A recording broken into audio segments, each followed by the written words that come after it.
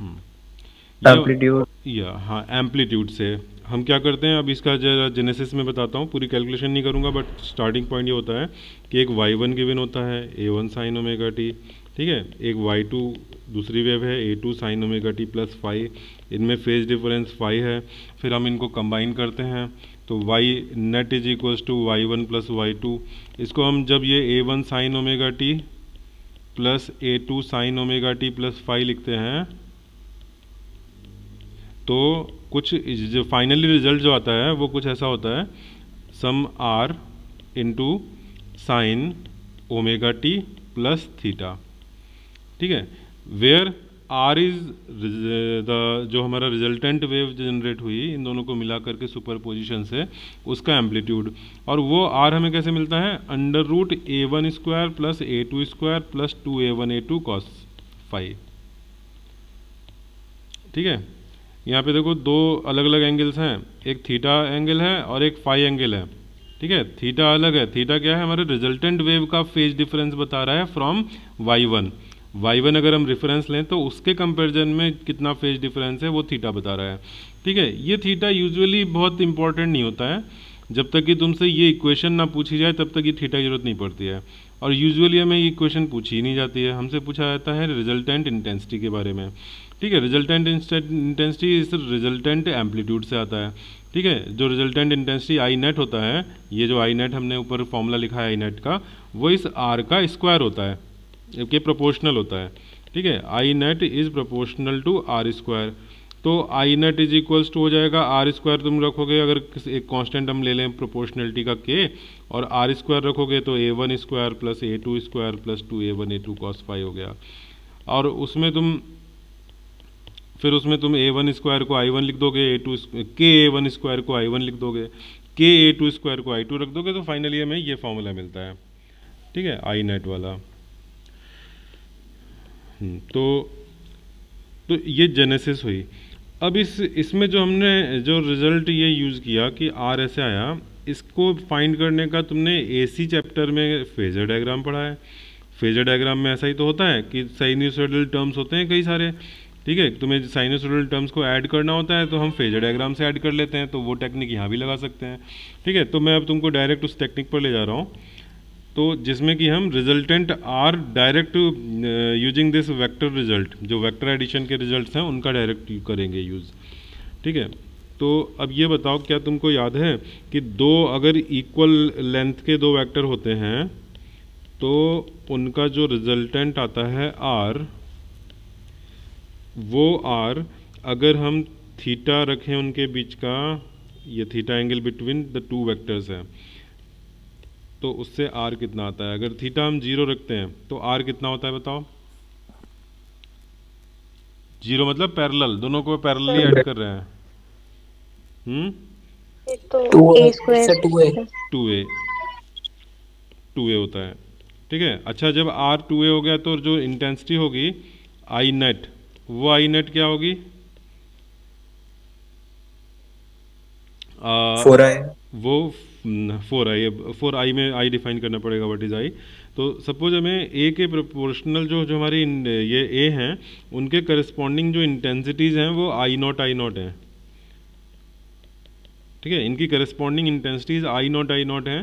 तो जब resultant two A amplitude हो गया तो स्क्वायर करोगे तो फोर ए स्क्वायर हो जाएगा। और फोर ए स्क्वायर का मतलब हो गया आई ए स्क्वायर को तुम आई नॉट लिख दो। ठीक है? प्रोपोर्शनलिटी है। तो फोर आई नॉट कर दिया हमने।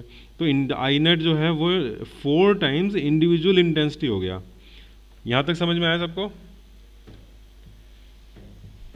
और इसको मैं आई मैक्स कह दूँ तो कोई बात तो नहीं है। थीटा इक्वल टू ज़ीरो पर हमें आई मैक्स मिलता है। ठीक है अच्छा ज़रा सिंबल में हम लोग, क्योंकि फ़ेज़ डिफरेंस यहाँ पे यूज़ करेंगे तो मैं थीटा नहीं फाइव लिख दे रहा हूँ। अदरवाइज़ थोड़ा कन्फ्यूज़न हो सकता है। दिस एंगल इज़ फाइव ठीक है फाइव की वैल्यू ज़ीरो है तो मैक्सिमम इंटेंसिटी मिलती है फोर आई नॉट लिख दिया। ठीक है, फिर अगला, देखो फाइव ज़ीरो के बाद क्या होता है? थर्टी डिग्री थर्टी डिग्री अगर रखते हो तो तुम्हें क्या मिलता है? तुम कौन सा चीज़ यूज़ कर रहे हो? तुम ये यूज़ कर रहे हो। R is equals to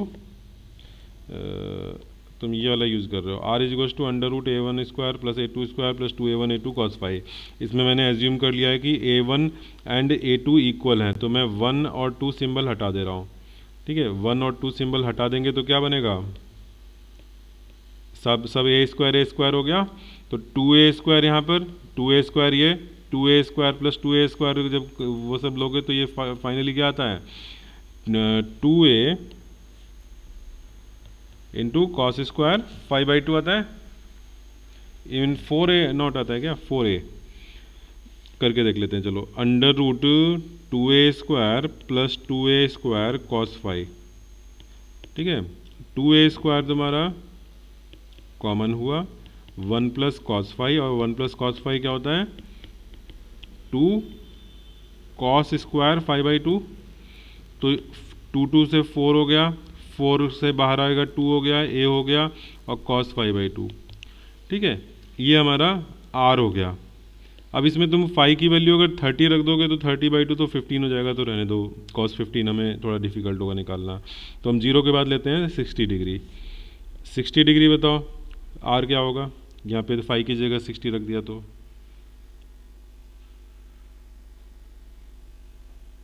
root three है। रूट थ्री है। और रूट थ्री ए पर इंटेंसिटी क्या हो जाएगी? थ्री आई नॉट हो जाएगी। और वो आई मैक्स के टर्म्स में क्या हो जाएगी? Three by four I max हो जाएगी। ठीक है? फिर सिक्सटी डिग्री के आगे अगला कौन होगा? 90 डिग्री ले लेते हैं 60 के बाद 90 अच्छा बीच में 45 भी ले सकते थे क्या? 45 में हमारा अच्छा रहता क्या? नहीं 45 फाइव बाई टू थोड़ा सा डिफ़िकल्ट रेशियो होता। जो इजी रेशियो होते हैं, वही ज़्यादातर पूछे जाते हैं। हम्म तो नेक्स्ट आगे 90 डिग्री पे बोलो, या 90 रख दोगे तो आर क्या आएगा? रूट रूट टू ए अच्छा अब थोड़ा सा हम लोग कॉमन सेंस या जो डायग्राम से भी देख सकते हैं कि ये ए है ये ए है तो इनका जो रिजल्टेंट आएगा वो रूट टू ए होगा। ठीक है? तो इससे तुमको ज़्यादा दिमाग नहीं लगाना पड़ेगा सीधे तुम रूट टू ए रख दिया। इंटेंसिटी बता दो। इसका स्क्वायर कर दोगे तो क्या हो जाएगी? रूट टू का टू और ए का स्क्वायर आई नॉट ठीक है? विच इज़ आई मैक्स के टर्म्स में क्या है ये? आई मैक्स टू है। ठीक है हाफ़ है आई मैक्स का। फिर 90 के आगे आता है 120 डिग्री 120 डिग्री पे बताओ क्या होता है? दो सेम लेंथ के वेक्टर्स 120 ए. पर वही ए होता है। ठीक है यानी इंटेंसिटी क्या हो गई? आई नॉट हो गई जो कि आई मैक्स का क्या है? वन बाई फोर है। ठीक है और 180 पे क्या हो जाएगा? ज़ीरो ज़ीरो आई आई क्या हो गया? आई नॉट भी आई नेट भी ज़ीरो हो गया। ठीक है ज़ीरो ठीक? 270 पे क्या होगा?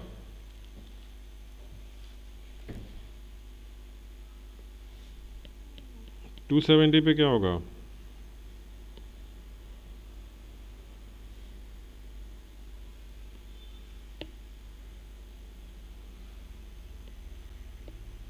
ज़ीरो ज़ीरो क्यों? नहीं सॉरी रूट टू है sorry sorry two seventy sir minus में आएगा ना वो? तुम्हें अल्टीमेटली तो स्क्वायर करना है ना इंटेंस हमें तो इंटेंसिटी से मतलब है। ठीक है इंटेंसिटी हम स्क्वायर करेंगे क्या होगा? Two I naught which is I max by two ठीक है और थ्री सिक्सटी पर क्या होगा?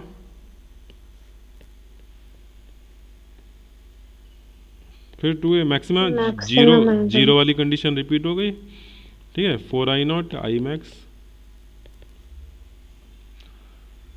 ठीक है? अब इनमें सबसे इंपॉर्टेंट कौन से हैं? जो ज़्यादातर पूछे जाते हैं। तो उसके लिए देखो ज़ीरो वाला तो कॉमन सेंस ही है तो ज़ीरो को मैं टिक नहीं लगा रहा हूँ। वैसे इंपॉर्टेंट वो भी है ज़ीरो वाला भी। ठीक है? ये लगा दूँ। चलो लिख देते हैं। ये सिक्सटी वाला three by four ninety one twenty और उनमें भी one twenty is very very important ठीक है? और नाइन्टी पे भी लगा देता हूँ डबल टिक ठीक है? वन एट्टी मिनिमा है, वो तो तुम्हें पता ही है। पाई जब फ़ेज़ डिफरेंस पाई होता है तो मिनिमा ज़ीरो ज़ीरो होता है। ठीक है? तो 180 वाला बस वो जैसे ज़ीरो है, वैसे 180 का ये तो याद ही रहते हैं। तो मेन जो तुम्हें याद रखने हैं, वो 90 और 120 तो बहुत फ्रीक्वेंटली रिपीट होते हैं। 60 डिग्री भी यूज़ हो सकता है। ठीक है 90 एंड 120 ही याद करने वाली चीज़ हो गई। ठीक तो अब याद रहेगा अगर बोला जाए कि इंटेंसिटी मैक्सिमम इंटेंसिटी की हाफ़ हो गई तो कितना फ़ेज़ डिफरेंस रहेगा? 90 डिग्री 90 डिग्री ठीक है जो कि आई मैक्स का तो हाफ़ है लेकिन इंडिविजुअल इंटेंसिटीज का डबल है। ठीक है? तो तो अब ये ये अंडरस्टैंडिंग के साथ हम लोग आगे बढ़ते हैं कि नोट कर लिया है।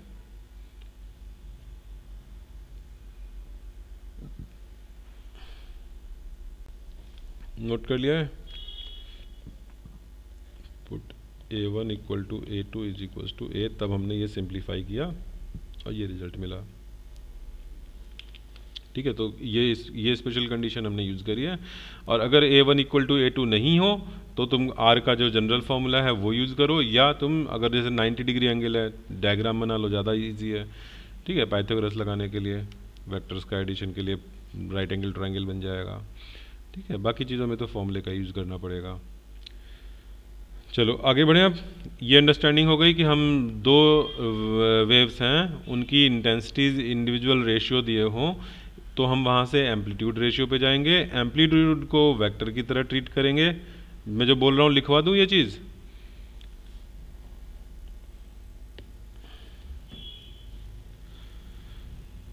लिखा हुआ है पहले से। I one I two are given find I net ठीक है? आई वन आई टू से हम क्या निकालेंगे?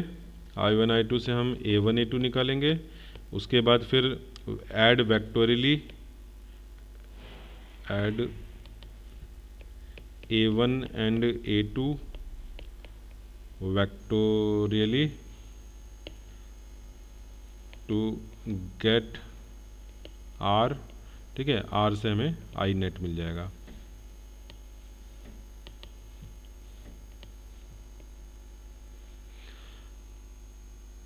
ठीक? अच्छा ये हो गया बेसिक चीज़। अब हम आते हैं दूसरा एक जो इस वाले क्वेश्चन में जो अभी मैंने तुम्हें दिखाया अभी मैचिंग द कॉलम उसमें एक चीज़ यूज़ हो रही है कि अगर कोई एक थिन फ़िल्म हम लगा देते हैं किसी के सामने, किसी स्लिट के सामने तो ये कितना पार्ट डिफरेंस क्रिएट करती है? तो ये mu minus one into T create करती है। इस क्वेश्चन में तुमने देखा होगा कि mu minus one into T की वैल्यू दे रखी है कहीं lambda by two lambda by four इस तरह से। ठीक है? तो ये इतना पार्ट डिफरेंस क्रिएट कर रही है। पार्ट डिफरेंस से तुम फ़ेज़ डिफरेंस निकालोगे। तो पार्ट डिफरेंस अगर लैमडा के टर्म्स में गिवन है तो फ़ेज़ डिफरेंस के लिए हम लेमडा को टू पाई रख देते हैं। ठीक है? लेमडा को हटा के टू पाई कर दो, फिर सॉल्व कर लो। तो लेमडा बाई टू का मतलब पाई हो गया। थ्री लेमडा बाई फोर है तो इसका मतलब हो गया three by four into two pi ठीक है? तो थ्री बाई टू पाई हो गया। टू सेवेंटी डिग्री ठीक। तो ये सारी बातें समझ में आ गई? तो अब हम उस क्वेश्चन पर जाते हैं और फिर देखते हैं कि अब ये कितना जल्दी जल्दी हो जाएगा। तो देखो, तुमने अगर सारे ऑप्शन पढ़ रखे हैं जस्ट ए मिनट शेयर हो रहा है हाँ। अगर तुमने सारे ऑप्शन पढ़ रखे हैं तो तुमको ये पता होगा कि ये क्या पूछ रहे हैं। ये पूछ रहे हैं एक तो पार्ट डिफरेंस के बारे में, ठीक है? ये डेल्टा डेल्टा डेल और फिर उसके बाद intensity at P one intensity at P two and intensity at P naught ठीक है? इन चीज़ों के बारे में बात हो रही है। तो हम एक एक case A B C D को वन बाय वन लेते हैं और इन सारी चीज़ों को डिस्कस कर लेते हैं उस पर्टिकुलर सिचुएशन में। तो पहले वाले केस में ए में कोई शीट यूज़ नहीं हुई है। S one S two slit के सामने कोई नहीं, कुछ नहीं रखा है। ठीक है? और पी वन के लिए पार्ट डिफरेंस कितना दे रखा है इन्होंने? लेमडा बाई फोर ठीक है पी वन पर दोनों का path difference P two P naught पर तो ज़ीरो है क्योंकि दोनों का इक्वल पाथ लेंथ है। लेकिन पी वन के लिए लेमडा बाई फोर है और पी टू के लिए लेमडा बाई थ्री है। लेमडा बाई फोर का मतलब फ़ेज़ डिफरेंस कितना हुआ? लेमडा बाई फोर से फाइव कितना आएगा? Pi by two pi by two ninety degree वाला केस हो गया। और एस टू पी टू वाले ये पी टू पर लेमडा बाई थ्री से क्या हो गया? Two pi by three one twenty degree वाला केस हो गया और 90 डिग्री वाला केस हो गया। ठीक है क्या दोनों आई वन और आई टू या ए वन और ए टू इक्वल हैं इसमें?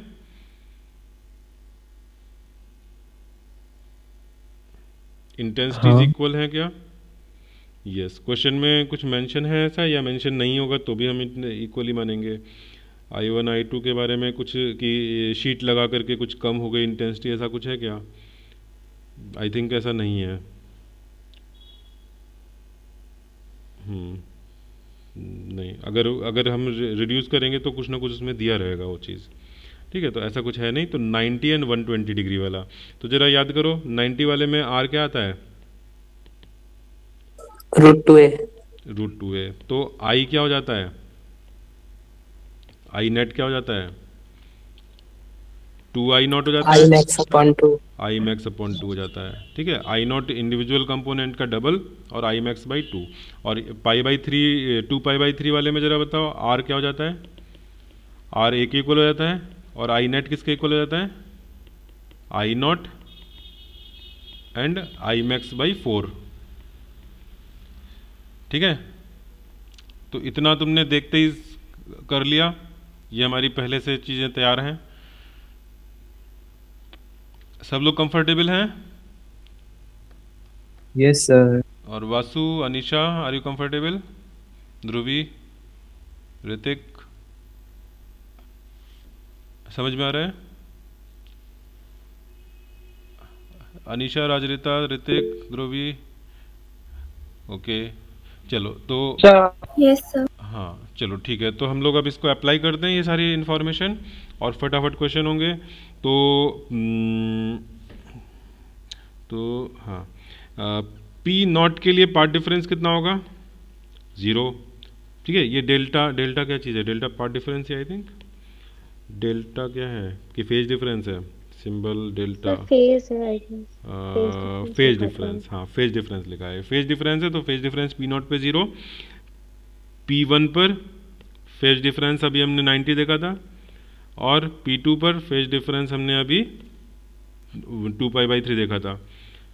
ठीक है? यानी कि 120 डिग्री तो ऐसा तो यहाँ पर कोई पार्ट डिफरेंस ज़ीरो वाला ऑप्शन हमारा दिख रहा है? Delta P naught zero yes तो हाँ तो ए के लिए पी हो जाएगा। ठीक है? ए के लिए हो गया पी अच्छा ए के लिए क्यू सही है क्या? कि पी वन पर पार्ट डिफरेंस ज़ीरो है? नो ठीक है? Intensity at P one zero है क्या? ये तो मैक्सिमा होगी जब पार्ट डिफरेंस ज़ीरो है तो इंटेंसिटी तो मैक्सिमा होगी तो ये नहीं है। S intensity at P naught is greater than I P one P naught पे? यस ये ट्रू है तो एस हो गया। और इंटेंसिटी पी टू की ग्रेटर होगी?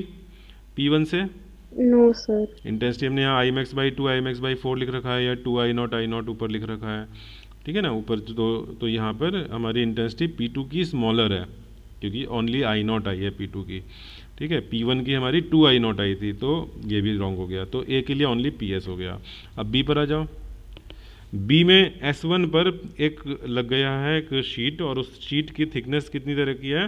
वो ऐसे एडजस्टेबल है एडजस्ट किया है कि lambda by four is path difference ठीक है? लेमडा बाई फोर से फ़ेज़ डिफरेंस कितना इंट्रोड्यूस हो जाएगा?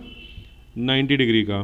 लेमडा को तुम टू पाई रख दोगे two pi upon four pi by two हो गया। तो इस शीट की वजह से 90 डिग्री का पार्ट डिफरेंस आ गया पाई बाई टू का। ठीक है? अच्छा अब ये बताओ कि हम जब पी पी नॉट पर जाएँगे पी नॉट पर तो किसको ज़्यादा कि कौन डिले से पहुंचेगा? एस टू वाला। एस टू वाला डिले से पहुंचेगा। तो एस टू वाला फ- न, क्या होगा उसका फ़ेज़ बिहाइंड पीछे रह जाएगा लैग करेगा। ठीक है S one will lead by pi by two तो तो पहला ऑप्शन बताओ P delta at P naught is zero correct है क्या? सर हमें कैसे पता लगा कि एस टू लेट से पहुंचेगा? क्योंकि वहाँ पे हमने शीट रख दी है एस टू पर। शीट में वो डिले हो जाएगा। वो एक्स्ट्रा पाथ लेंथ क्रिएट कर देगा। शीट के अंदर लाइट धीमे ट्रेवल करेगी वैक्यूम या एयर में फास्ट करती है। ठीक है? तो एस टू से निकलने वाली रे को स्लो पेस में उस शीट को क्रॉस करना है तो वो डिले हो जाएगा। ठीक है? अच्छा तो अब path difference at P naught zero तो नहीं रह गया। Phase difference at P naught zero तो नहीं रह गया तो पी तो नहीं होगा। ऑप्शन क्यू पर आ जाओ। Delta P one at zero P one पे ज़ीरो होगा क्या? हाँ। यस सर ओके यहाँ पर एस टू से पर जो है एक्स्ट्रा चलना पड़ा। एस टू वाले को पाई बाई टू का डिले हुआ था। और S1 से P1 जाने में अगर जस्ट ज्योमेट्रिकली देखो जस्ट पाथ लेंथ देखो तो हम ऑलरेडी देख चुके हैं कि कितना पाथ में कितना डिफरेंस था। पाई बाई टू का फ़ेज़ डिफरेंस आ रहा था। P1 S1 से P1 जाने में अगर हम पहले वाले ए ऑप्शन को देख रहे थे तो वहाँ 90 डिग्री का पार्ट डिफरेंस फ़ेज़ डिफरेंस था। तो उस हिसाब से S1 डिले हो रहा था पाई बाई टू से। और यहाँ S2 भी पाई बाई टू से डिले हो गया तो दोनों के डिले एग्जैक्टली एक दूसरे को कैंसिल कर रहे हैं, यानी कि P1 पर दोनों सेम फ़ेज़ में पहुँचेंगे। तो यस क्यू करेक्ट है बी के लिए। बी के लिए क्यू करेक्ट हो गया। किसी को कुछ पूछना है इसमें? S2 से चलने वाले को शीट में क्रॉस करना है तो पाई बाई टू का वो डिले हो गया और S1 को एक्स्ट्रा चलना है क्योंकि उसको ऊपर की तरफ़ जाना है पी नॉट से ऊपर तो उसको भी पाई बाई टू का डिले हो गया तो दोनों के डिले एग्जैक्टली कैंसिल आउट हो गए। नेक्स्ट क्यू हो गया, अब आर की बात करते हैं। Intensity at P one will be zero वहाँ तो मैक्सिमा होगा, है ना? पी वन पे तो मैक्सिमा आ रहा है क्योंकि फ़ेज़ डिफरेंस ज़ीरो है तो ये रॉन्ग हो गया आर एस पी नॉट की इंटेंसिटी ग्रेटर है नो पी वन की ग्रेटर होगी, क्योंकि पी वन हमारा मैक्सिम आ रहा है। ठीक है, इसी तरह से टी भी रॉन्ग हो गया, कि आई पी वन लेस बोल रहे हैं पी वन पे तो मैक्सिमम इंटेंसिटी होगी तो इसका ओनली क्यू हो गया। सी पर आ जाओ। सी का तुम लोग करोगे खुद से? जरा खुद से करो सी का। लेमडा बाई टू दे रखा है यहाँ पे। लेमडा बाई टू का मतलब 180 डिग्री का ये फ़ेज़ डिफरेंस ला रहा है। मुझे फाई नेट बताओ कि कितना होगा? Phi net at P one P two and P naught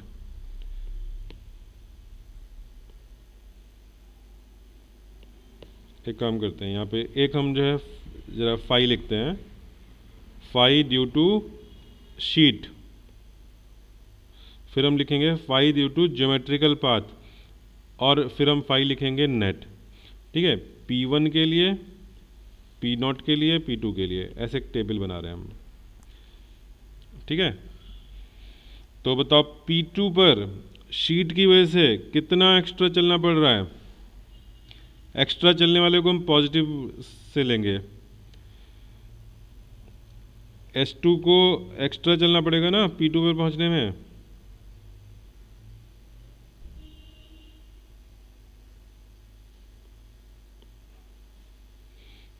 कितना फ़ेज़ डिफरेंस आ रहा है? शीट की वजह से।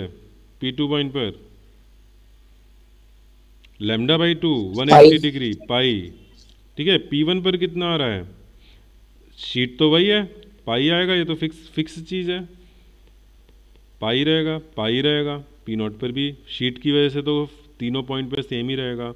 ठीक है? इसमें एस टू डिले हो रहा है। एस टू बिहाइंड हो रहा है। अच्छा जी पर जो ज्योमेट्रिकल पाथ है एक्चुअल जो पाथ लेंथ है उसमें S2 से चलने वाले को कम चलना पड़ रहा है S1 वाले को ज़्यादा चलना पड़ रहा है। ठीक है? यानी कि दोनों एक दूसरे के काउंटर अपोजिटली एक्ट कर रहे हैं। ठीक है? तो ज्योमेट्रिकली बताओ P2 पर कितना एक्स्ट्रा चलना पड़ा था? P2 पर हमने ऊपर देखा था two pi by three angle के टर्म्स में लेमडा के टर्म्स में नहीं। फिर P1 पे कितना चलना पड़ा था? Pi by two pi by two. और पी नॉट पे ज्योमेट्रिकली ज़ीरो था, साथ में पहुँच रहे थे। ठीक है, अब फाई नेट बता दो। फाई नेट कितना आएगा?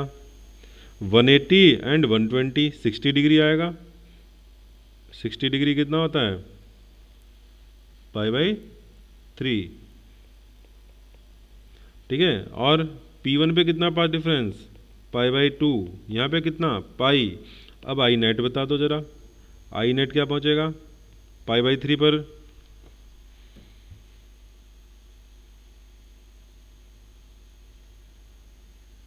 पाई बाई थ्री पर आई नॉट के टर्म्स में कितना था? थर्टी डिग्री वाले में आई नॉट के टर्म्स में। देखो जरा टेबल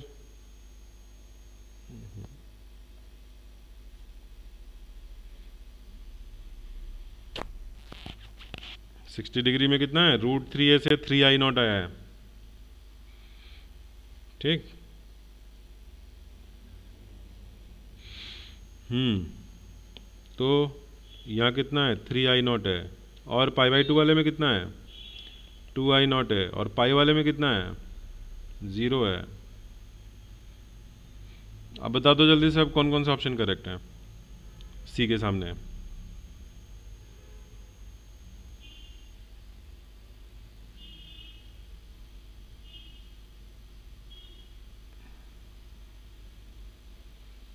जल्दी से बताओ। सर एक तो लास्ट वाला है।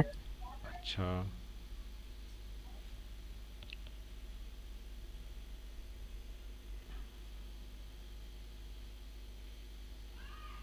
और?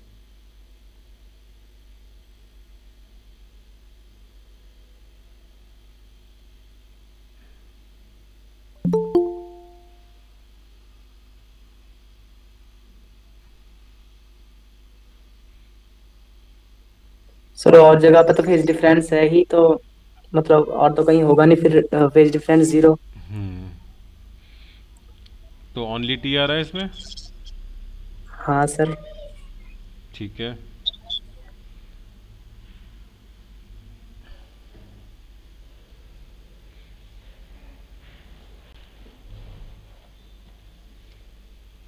अब लास्ट डी वाला पूरी तरह से तुम लोगों को करना है।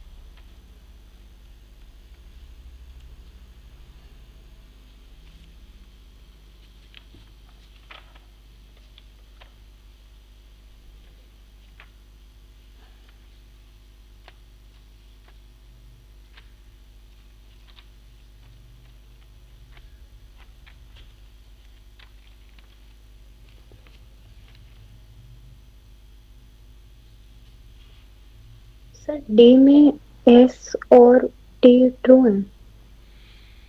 हम्म, तो अभी मैंने सोचा नहीं जरा तुम लोग तुम लोग अपना अपना बताओ।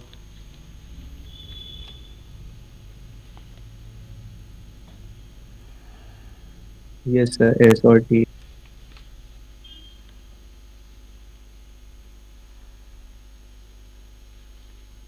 S और टी कह रहे हो? अच्छा। और कोई?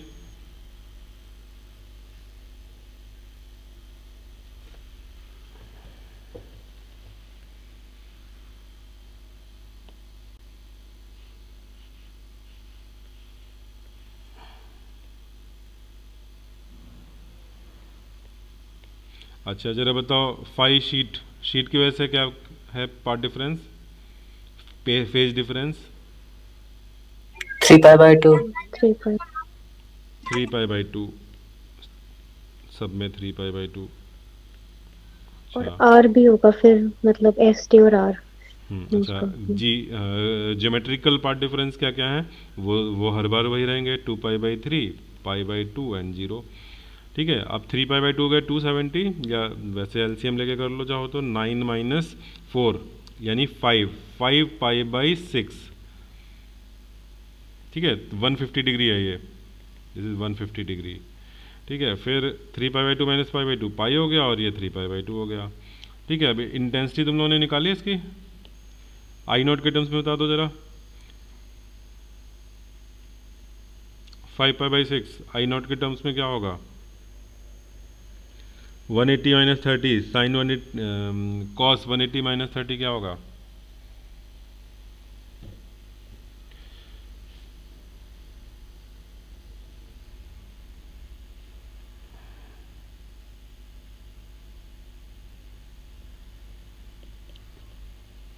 R is equals to under root two a square plus two a square cos five by यहाँ पे cos five cos five is one fifty degree one eighty minus thirty degree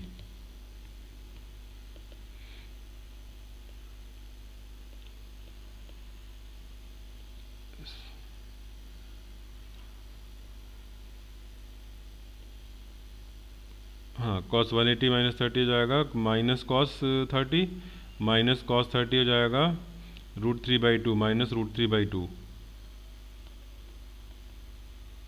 two minus root three तो ये कुछ मतलब कुछ वैसे standard form में नहीं आ रहा है। Root two upon root two two minus root three का under root into a intensity I net निकालोगे तो स्क्वायर करोगे तो two minus root three into I naught ये आ रहा है। Two minus I root three, point three I naught के आसपास आएगा।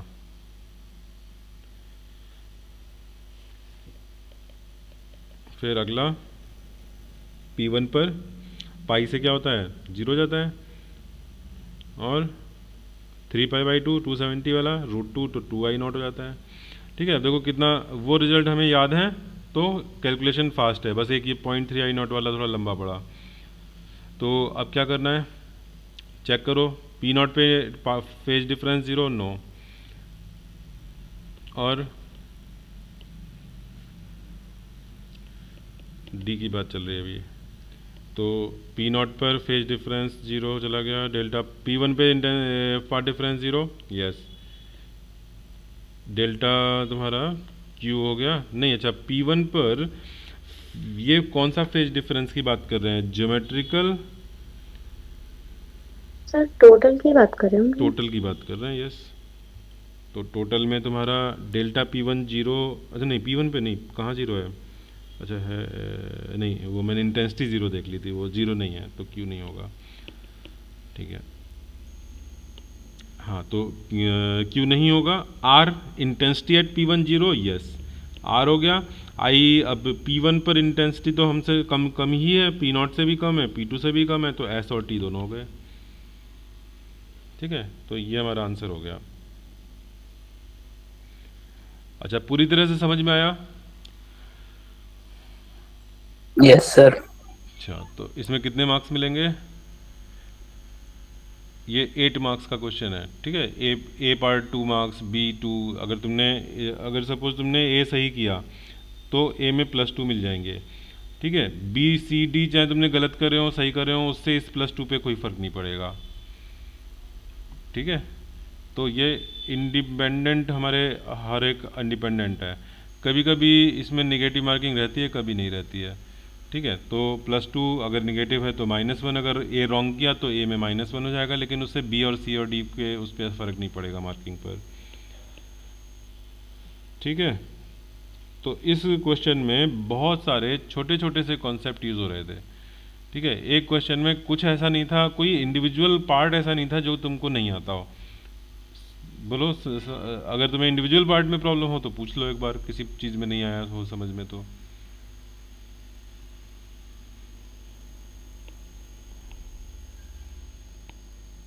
अब ये बताओ किसी ने बोर्ड की तैयारी करी हो ये क्वेश्चन कर सकता है कि नहीं? सिंपली एनसीईआरटी पढ़ के। तो केवल ये शीट वाला कॉन्सेप्ट जो है थोड़ा सा नया होगा। बाकी तो सारी चीज़ें पता ही हैं। अच्छा अब तुम लोगों को थोड़ा सा मैं थ्योरी करा दूँ, जो हमें इंटरफेरेंस में एक्स्ट्रा करनी है, जो कि सीबीएसई में नहीं करी होगी। तो इंटरफेरेंस के जो हमने सिचुएशन देखी हैं, ज़्यादातर हमने केवल वाई की देखी हैं। ठीक है, उसके अलावा कुछ और भी स्टैंडर्ड वो होते हैं सेटअप जिनका कि वेरिएशन कुछ भी एग्ज़ाम में पूछा जा सकता है और पूछा गया है पहले। ठीक है तो वो जो सेटअप्स हैं, उनको हम डिस्कस कर लेते हैं। उनमें सबसे एक इंपॉर्टेंट है interference through thin film interference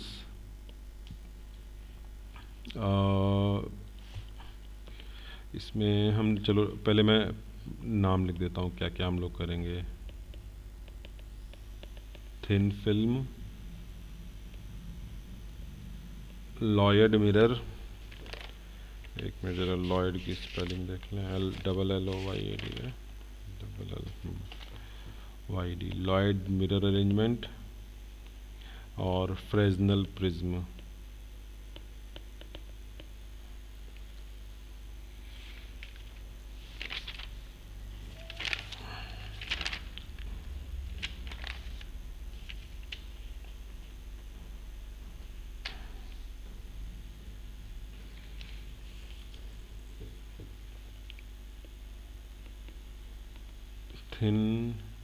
Wedge and uh, Newton's ring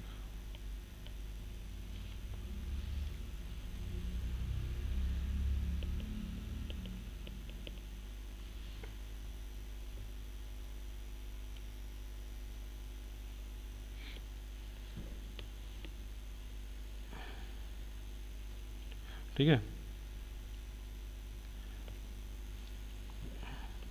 चलो तो पहला हम थिन फ़िल्म से शुरू करते हैं।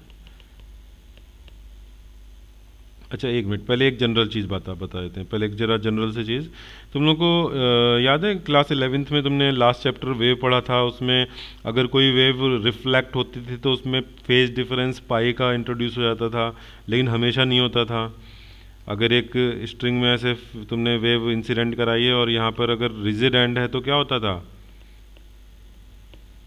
रिजिड एंड से रिफ्लेक्शन में फ़ेज़ डिफरेंस पाई आता था कि नहीं आता था? रिफ्लेक्टेड वेव में।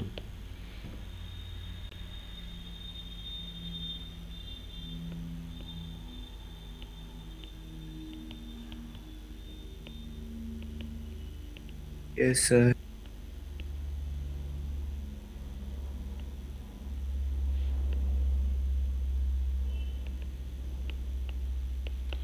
Reflection by rigid end है। या डेंसर मीडियम हो और डेंसर मीडियम तो उसमें पाई बाई टू का फ़ेज़ डिफरेंस अब सॉरी पाई का पाई मतलब लैमडा बाई टू का, ठीक है? फ़ेज़ डिफरेंस में बात करेंगे तो पाई ठीक है? पाई का फ़ेज़ डिफरेंस आ जाता है। और रिफ्लेक्शन बाई अगर लूज एंड है, कुछ ऐसा होता था कि ये, यहाँ पर ये ऐसे एक रिंग पड़ी होती थी और वो फ्री एंड होता था। ठीक है तो बाय फ्री एंड और रेयरर मीडियम तो कोई फ़ेज़ डिफरेंस नहीं आएगा। डायरेक्शन पलट जाएगा बट फ़ेज़ डिफरेंस नहीं आएगा। ठीक है? तो ये बात याद रहेगी, इसका हम यूज़ करेंगे।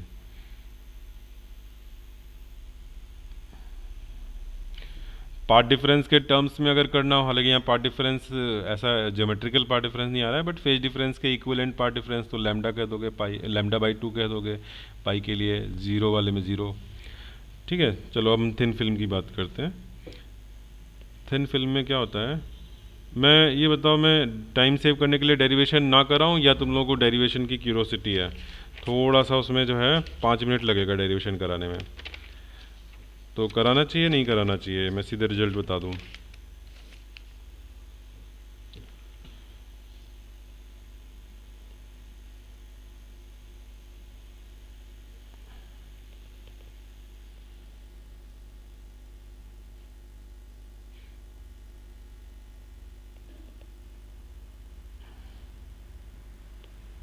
सर करा दीजिए।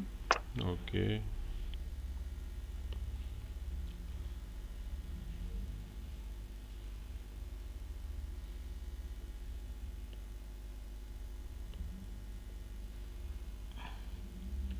अब यहाँ पे देखो, हमारी ये इंसिडेंट रे थी, ये रिफ्लेक्टेड रे है, इसको मैं आर एल बोल देता हूँ, ये रिफ्रैक्टेड रे है, इसको आर एफ़ बोल देता हूँ। ठीक है अच्छा रिफ्रैक्टेड एक्चुअली रिफ्रैक्टेड में तो बहुत कुछ हो गया है, ठीक है, अभी ज़रा देखो। इंसिडेंट रे आई, ये क्या है, ये थिन फ़िल्म ऑफ़ लिक्विड है, यहाँ पे लिक्विड है। ठीक है लिक्विड का ले लो रिफ्रैक्टिव इंडेक्स म्यू ठीक है तो टॉप सरफेस पर पार्शियल रिफ्लेक्शन हो गया। पार्शियल रिफ्रैक्शन हो गया। कुछ पार्ट रिफ्लेक्ट हो गया, कुछ रिफ्रैक्ट हुआ। रिफ्रैक्शन के बाद अगली जहाँ बाउंड्री आई, वहाँ पे फिर रिफ्लेक्शन हो गया। कुछ हो सकता है आगे चला गया बट वो आगे जाने वाला हमारे भी किसी काम का नहीं है। ठीक है? अभी हम उसका डिस्कशन नहीं कर रहे। यहाँ कुछ और भी हो सकता है कि ट्रांसमिट हो गया हो। ठीक है? और हो सकता है कि यहाँ पे कुछ मिरर जैसा या कुछ ऑब्स्ट्रक्शन हो तो कुछ ट्रांसमिट ना हुआ हो। हो सकता है कि कुछ पार्ट एब्जॉर्ब हो गया हो। ठीक है? लेकिन हम अभी इंटरेस्टेड हैं जो यहाँ से रिफ्लेक्ट हुआ और फिर रिफ्रैक्ट हुआ।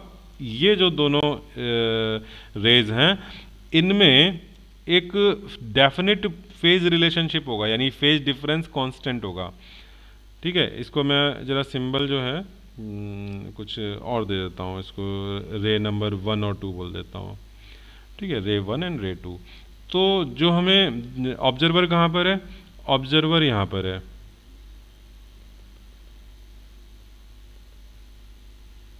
ठीक है? This is the eye observer तो ऑब्जर्वर की आईज में जो, को जो ऑब्ज़र्व होगा, जो पैटर्न वो वन और टू का सुपर पोजिशन होगा। ठीक है? अब यहाँ पर अगर मान लो हमारा incident angle of incidence I है। ठीक? एंगल ऑफ़ अच्छा इसकी थिकनेस दे रखी है।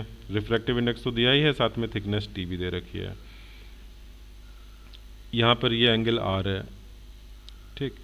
मैं एक काम कर रहा हूँ, यहाँ पर एक नॉर्मल डाल रहा हूँ। जो हमारी ये पैरेलल जो वन एंड टू रेज हैं, उन पर नॉर्मल डाल रहा हूँ। ठीक है? नॉर्मल तो इस नॉर्मल के बाद जो डिफरेंस जो डिस्टेंस चला जाएगा, वो डिस्टेंस तो सेम चला जाएगा। तो जो पार्ट डिफरेंस है, वो एक तो यहाँ पर है, और इस रे को इतना एक्स्ट्रा चलना पड़ा। ठीक है? अगर मान लो, ये, यहाँ पर मैं नाम दे रहा हूँ ए बी और एक मैंने इधर पर पेंडिकुलर डाला हुआ है। सी इसको मैं ई e ले लेता हूँ, यहाँ पे सी ले लेता हूँ और यहाँ पर हम पॉइंट ले लेते हैं डी ठीक है? तो रे वन और रे टू का जो पार्ट डिफरेंस आएगा, वो क्या होगा? तो रे टू को कितना चलना पड़ा? काफ़ी एक्स्ट्रा चलना पड़ा तो पहले तो मैं रे टू की बात करता हूँ। A B plus B plus E C इतना इसको एक्स्ट्रा चलना पड़ा, जबकि रे वन को कितना एक्स्ट्रा चलना पड़ा? ए डी चलना पड़ा। ठीक है? लेकिन इसमें ये पार्ट डिफरेंस में एक मिस्टेक है। बता सकते हो क्या मिस्टेक है?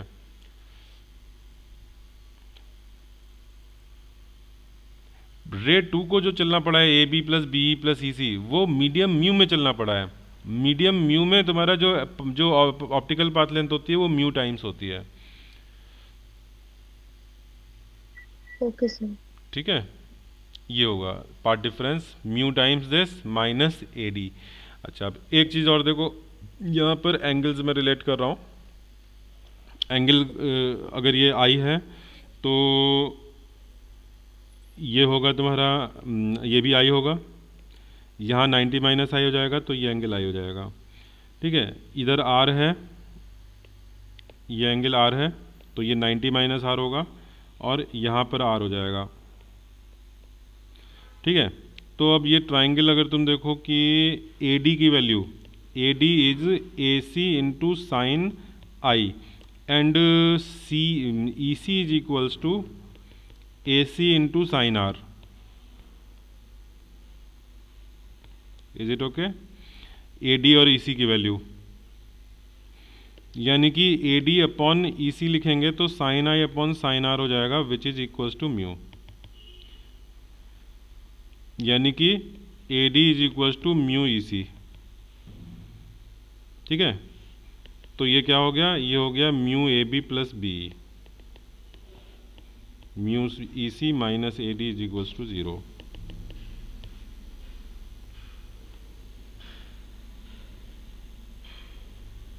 ठीक? इतना हो गया, समझ में आ गया?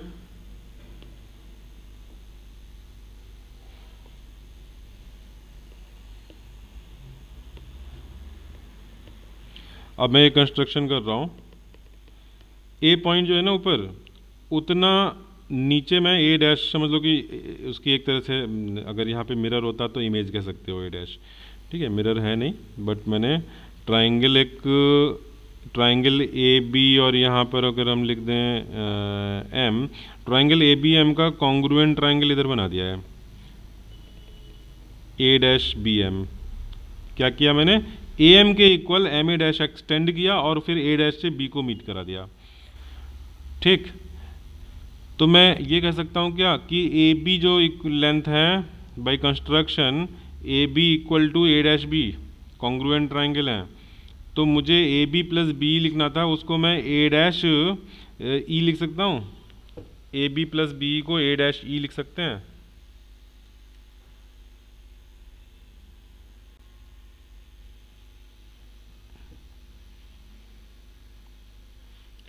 Mu times A dash E ठीक है? ए डैश ई लिख दिया इसको। अब ट्राइंगल देखो।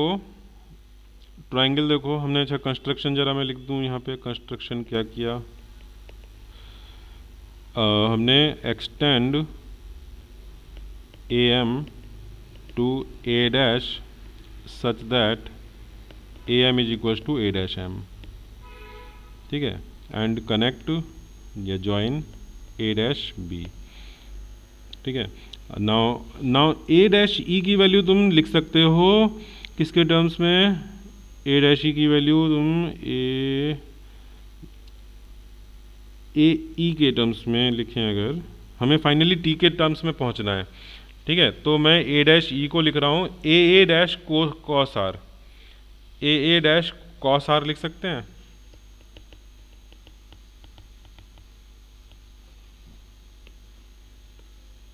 ये दिस ट्रायंगल ठीक है? यहाँ पे एंगल आर है तो ये वाला भी एंगल आर हो गया। ठीक है? तो ए डैश कॉस आर तो mu into A dash what is A dash A dash तो तुम्हारा ट्वाइस ऑफ़ टी है ना?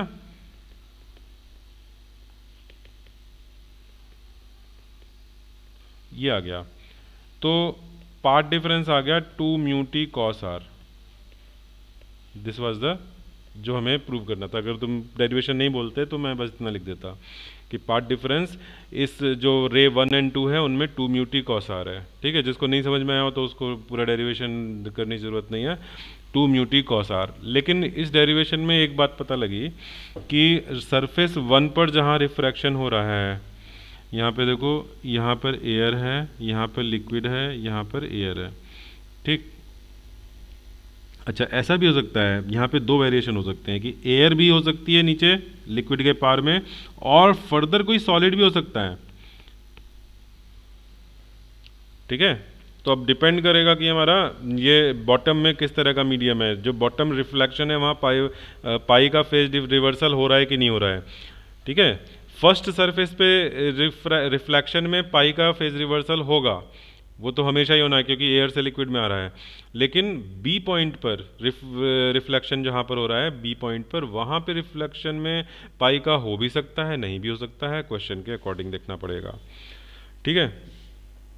एक और चीज़ हमने जो डायग्राम लिया है उसमें हमने आई एंगल दिखाया आर एंगल दिखाया। अगर क्वेश्चन में आई की या आर की वैल्यू नहीं बताई गई है तो तुम ये मानोगे कि हम इसको नॉर्मली व्यू कर रहे हैं और जो रिफ्लेक्टेड रेज हैं वो उसमें angle i angle of reflection ये वाला एंगल जो कि आई के इक्वली होगा। ये ये ऑलमोस्ट ज़ीरो है, मैं नॉर्मली व्यू कर रहा हूँ। नॉर्मली व्यू कर रहा हूँ तो ये जो एंगल है, ये i and r are very very small अगर आर एंगल बहुत स्मॉल हो गया टेन टू ज़ीरो हो गया तो कॉस आर क्या करोगे? If r is very very small one one. ठीक है तो डाटा यूजुअली नहीं दिया रहता है। 80 90 परसेंट क्वेश्चन में तुम्हें पार्ट डिफरेंस टू म्यूटी रखना होता है। ठीक है तो ये पार्ट डिफरेंस तुम्हारा आ गया। एक क्या लिख लें हम? Approximation used frequently usually for normal viewing angle i and angle r are very small approximately zero ठीक है? तो पार्ट डिफरेंस तो यानी कि cos r tends to one this implies path difference के लिए तुम लिख सकते हो टू म्यू टी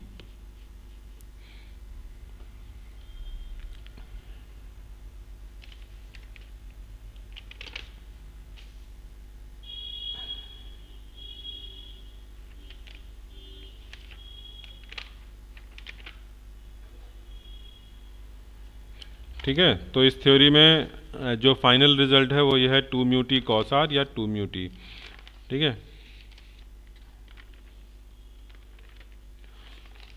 आगे आ, अब इसमें पूछा क्या जाएगा? कभी मैक्सिमा के लिए कंडीशन मिनिमा के लिए कंडीशन में एक क्वेश्चन जरा ढूंढ रहा हूँ अभी क्वेश्चन देता हूँ। सर हेडिंग क्या है? हेडिंग लिखा तो था फ़िल्म तुम्हारा thin film interference by thin film मैंने भी तुम लोग को इधर बताया तो था प्रीवियस पेज पर। यहाँ लिखा है? नहीं ये लिखा है यहाँ पे। प्रीवियस पेज पे मैंने बताया था अब थिन फ़िल्म करने जा रहे हैं हम।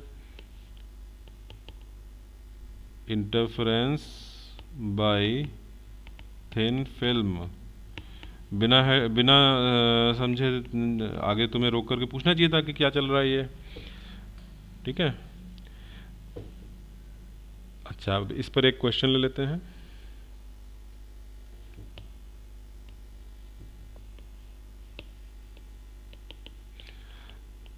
Soap film of thickness t is equal to point double zero one one m m appears dark when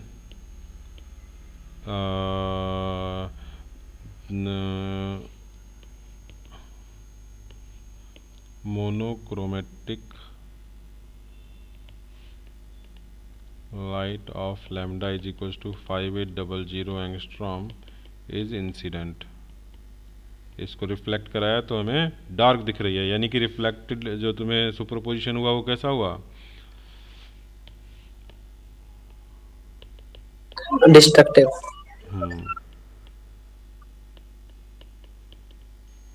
if it is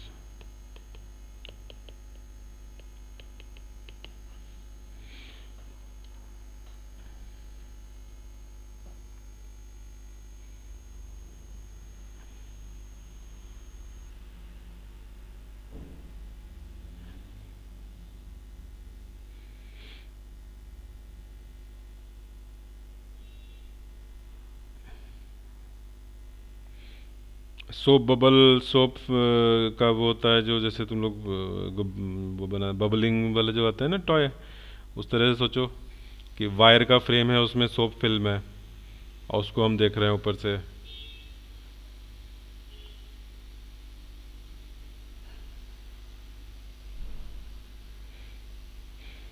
अच्छा वो तुमने सोप फ़िल्म देखी है? तुम्हें कलर्ड दिखती है? नॉर्मली हम सनलाइट में देखते हैं तो कलर्ड दिखती है? तो उन कलर का भी यही रीजन है कि अलग अलग कलर के मैक्सिमा मिनिमा अलग अलग बनते हैं तो तुम्हें वो कलर दिखता है। चलो यहाँ पे बताओ जरा, क्या करें?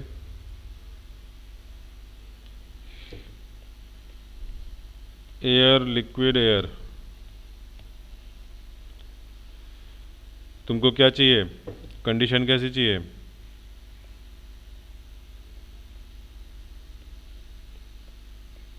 डिस्ट्रक्टिव डिस्ट्रक्टिव तो हम पार्ट डिफरेंस बताओ कितना लिखें ज्योमेट्रिकल पार्ट डिफरेंस हमने निकाला है टू म्यूटी ठीक है? एंगल आर निकालने के लिए इन्फॉर्मेशन नहीं दी है, हमने वन ले लिया कॉस आर को. ठीक है? अब इसमें तुम्हारा फ़र्स्ट जो है वो रिफ्लेक्शन है, वहाँ पर पाई का फ़ेज़ डिफरेंस आया है. यानी पार्ट डिफरेंस में कन्वर्ट करोगे तो लैम्डा बाई टू का कहोगे. ठीक है? तो लैम्डा बाई टू का चाहे माइनस कर दो या प्लस कर दो। ठीक है? ये हो गया path difference net geometrical and reflection का पार्ट डिफरेंस ठीक है? इज़ इक्वल्स टू अब ये बताओ, ये नेट तुम्हारा कितना रखना चाहिए डिस्ट्रक्टिव के लिए? Two n plus one two n plus one lambda by two रखना चाहिए ऑड मल्टीपल या एन लेमडा रखना चाहिए। डिस्ट्रक्टिव के लिए कितना रखना चाहिए? ऊपर वाला। ऊपर वाला। ठीक है?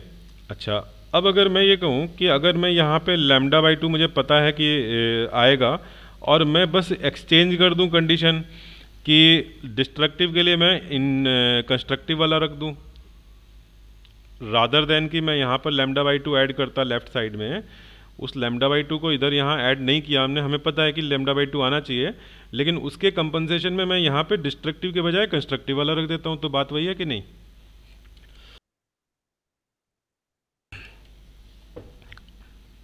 चलो, मैं करके दिखाता हूँ। मैंने इधर यहाँ पे, और एक चीज़ का और आंसर मिल जाएगा तुम्हें। मैंने यहाँ पे कहा था कि या तो तुम लेमडा बाई टू प्लस कर दो या माइनस कर दो, कोई फ़र्क नहीं पड़ता। ठीक है? अब यहाँ पे तुम चाह रहे हो कि डिस्ट्रक्टिव डिस्ट्रक्टिव के लिए तुम किस टाइप के रखोगे?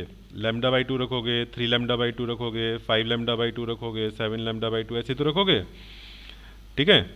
अगर तुमने ये प्लस लेमडा बाई टू को उधर ले गए तो क्या हो जाएगा? माइनस में लेमडा बाई टू ले गए तो ये ज़ीरो आ गया। ठीक है? ये प्लस लेमडा बाई टू को इधर ले गए तो तुम्हें लेमडा मिल गया टू लेमडा मिल गया थ्री लेमडा मिल गया। लेकिन अगर तुमने मान लो कि ये वाला केस किया जिसमें कि यहाँ माइनस लेमडा बाई टू था, माइनस लेमडा बाई टू इधर ले जाओगे तो प्लस हो जाएगा। प्लस करोगे लेमडा बाई टू में तो यहाँ लेमडा आएगा, इधर करोगे तो टू लेमडा आएगा, थ्री लेमडा आएगा, फोर लेमडा आएगा। ठीक है तो अल्टीमेटली सेट तो वही मिल रहे हैं वैल्यूज़ के। अल्टीमेटली जो मुझे टू म्यू टी की वैल्यू मिल रही है, टू म्यू टी की वैल्यूज़ में जो ऑप्शंस मिल रहे हैं वो क्या मिल रहे हैं?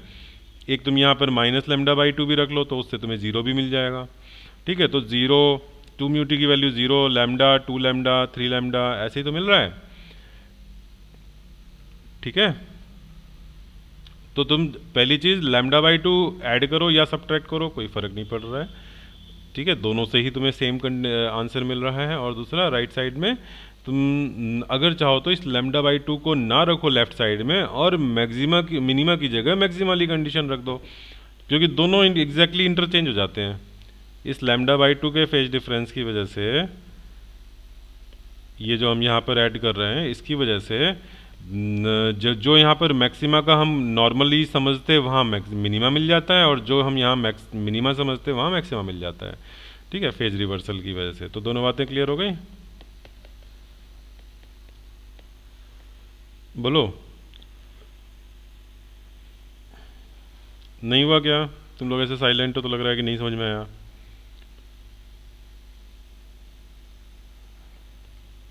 Two mu t plus point five lambda is equals to, मुझे डिस्ट्रक्टिव चाहिए। डिस्ट्रक्टिव के लिए मुझे माइनस पॉइंट फाइव लेमडा रखना है या पॉइंट फाइव लेमडा रखना है या वन पॉइंट फाइव लेमडा रखना है, ऐसे तो रखना है। ठीक है? तो यहाँ से टू म्यू टी की क्या वैल्यू आ रही है? पहले वाले केस से क्या आ रही है? लेमडा ज़ीरो आ रही है। दूसरे केस से क्या आ रही है? लेमडा आ रही है। फिर टू लेमडा थ्री लेमडा, ऐसे आ रही है। ठीक है? तो मैं ये कह रहा था कि तुम डायरेक्टली ये काम कर सकते हो कि तुम यहाँ पे लेमडा बाई टू ना रखो टू म्यूटी के साथ, जो रिफ्लेक्शन वाला लेमडा बाई टू है, उसको ना रखो, और यहाँ पे डिस्ट्रक्टिव चाहिए तो कंस्ट्रक्टिव वाले वैल्यूज़ रख दो, मैं ये कह रहा हूँ। ठीक है? ये काम मैं इसलिए बार बार समझा रहा हूँ कि अभी लॉयड मिरर में भी यही आएगा। ठीक है? आगे बहुत सारे, कई सारे केसेस होंगे जिसमें किस तरह का लेमडा बाई टू का पार्ट डिफरेंस आएगा। एक क्वेश्चन और करा दो। अभी मैं अब जो दूसरे वाले सेटअप में कराऊँगा तो उसमें भी ये कॉन्सेप्ट यूज़ होगा। ठीक है, चलो एक और कर लेते हैं। ठीक है, अभी पूरा नहीं हुआ है क्वेश्चन अभी इसको करके चलो एक और कर लेते हैं फ़िल्म का। अब क्वेश्चन क्या पूछा था? सोप फ़िल्म का रिफ्रैक्टिव इंडेक्स पूछा था। ठीक है, अब जरा रिफ्रैक्टिव इंडेक्स पर आओ। ये तुम्हारी कंडीशंस आए हैं कि हमारा टू म्यू टी की टी की वैल्यू इनमें से कुछ भी हो जाए। ठीक है? तो यानी कि हमें क्या चाहिए? म्यू चाहिए? तो म्यू की वैल्यू क्या हो जाए? पहले तो ज़ीरो हो जाए ज़ीरो तो नहीं होगी। क्वेश्चन में दिया है कि इस रेंज में नहीं है और ज़ीरो वैसे भी नहीं होती है। ठीक है, दूसरा क्या है? Lambda by two t just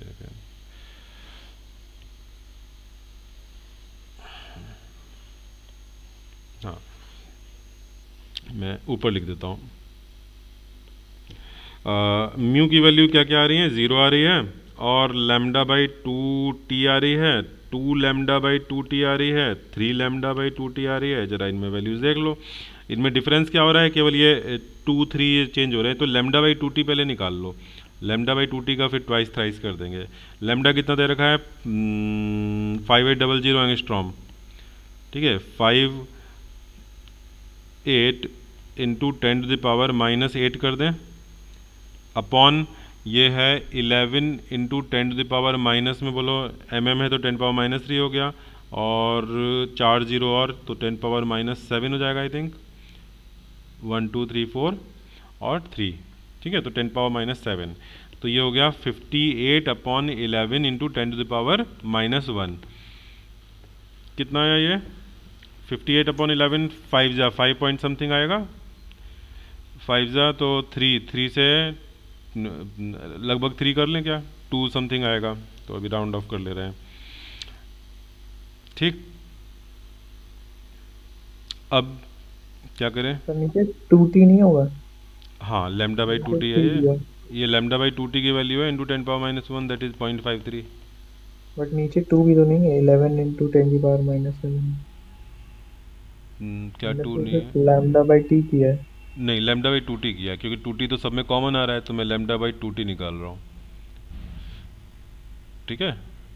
अब lambda by two t point five three आया तो ये हुआ ज़ीरो ये हुआ पॉइंट फाइव थ्री फिर अगला ट्वाइस हुआ तो zero point one sorry one point zero six और उसके आगे क्या हुआ?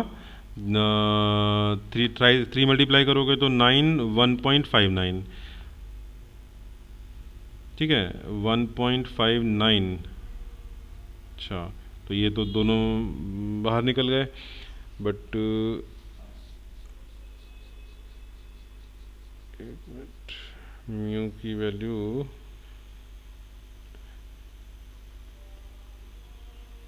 मेरा पॉइंट टू सिक्स थ्री आया तो तुम टू का फैक्टर मैंने गड़बड़ कर दिया है क्या? मतलब two lambda by two t सब में आ रहा है कि नहीं आ रहा है? आ रहा है। टू टी तो नीचे है तो टू मैंने डिवाइड अच्छा अच्छा हाँ ओके ओके टू रखा नहीं है मैं वहाँ पे। मैंने यहाँ टू डिवाइड नहीं किया, इसलिए गड़बड़ हो रही है। ठीक है, टू डिवाइड कर दो तो ये अपॉन टू कितना हो जाएगा? लेमडा बाई टू टी की वैल्यू हो जाएगी पॉइंट टू सिक्स थ्री ठीक है तो अभी ये इनके हाफ़ हाफ़ वैल्यू आएँगे upon two upon two upon two तो अभी यहाँ पर भी नहीं पहुँचे ये। ठीक है तो ये तुम कब जा करके 1.28 और 1.5 के बीच में पहुँचोगे, जब कितना मल्टीप्लाई करोगे? Point two six three into n तुम्हारे हाथ में है।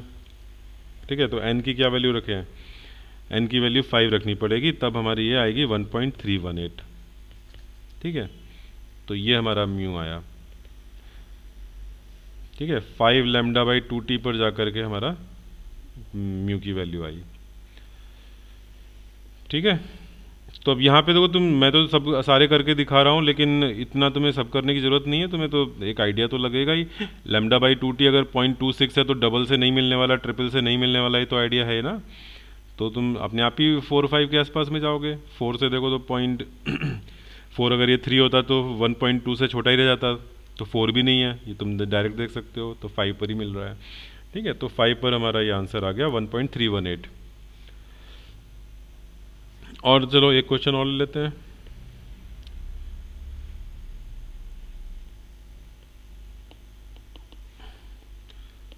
Find minimum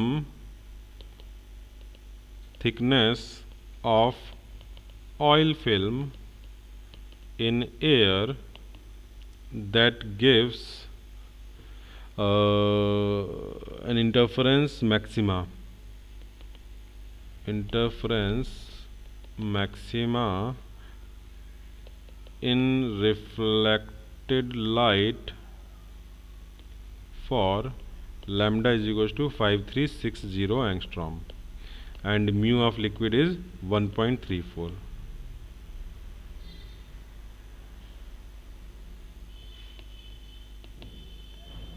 क्या करना होगा इसमें?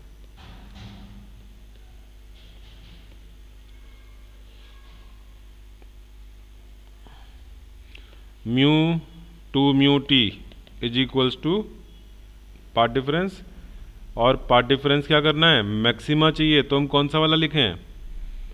Lambda by two three lambda by two five lambda by two ये वाले रहेंगे फॉर मैक्सिमा ठीक है? सर ये मैक्सिमा क्या है? हाँ। अच्छा, अच्छा हाँ, एक तो हाँ। इंटरफेरेंस मैक्सिमा चाहिए ना? तो वो लैमडा बाई टू को एडजस्ट कर दिया इधर। हाँ वही। ठीक है फॉर मैक्सिमा तो यहाँ से हमें क्या चाहिए? टी चाहिए ना मिनिमम थिकनेस तो मिनिमम थिकनेस के लिए कौन सा केस लोगे? Lambda by two three lambda by two five lambda by two कौन सा लोगे?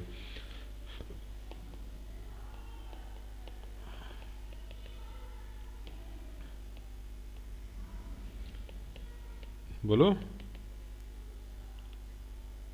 Lambda by two lambda by two तो टी आ गया लैमडा बाई फोर म्यू ठीक है कैलकुलेट कर लो five three six zero into ten power minus ten upon four into one point three four ठीक है, ये थिकनेस ऐसे तो एंगस्ट्रॉम में आएगी, उसको तुम किसी सुटेबल उसमें कर लोगे।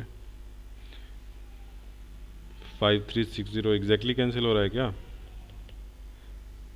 फोर हाँ तो ये ten power minus seven metre आ गई।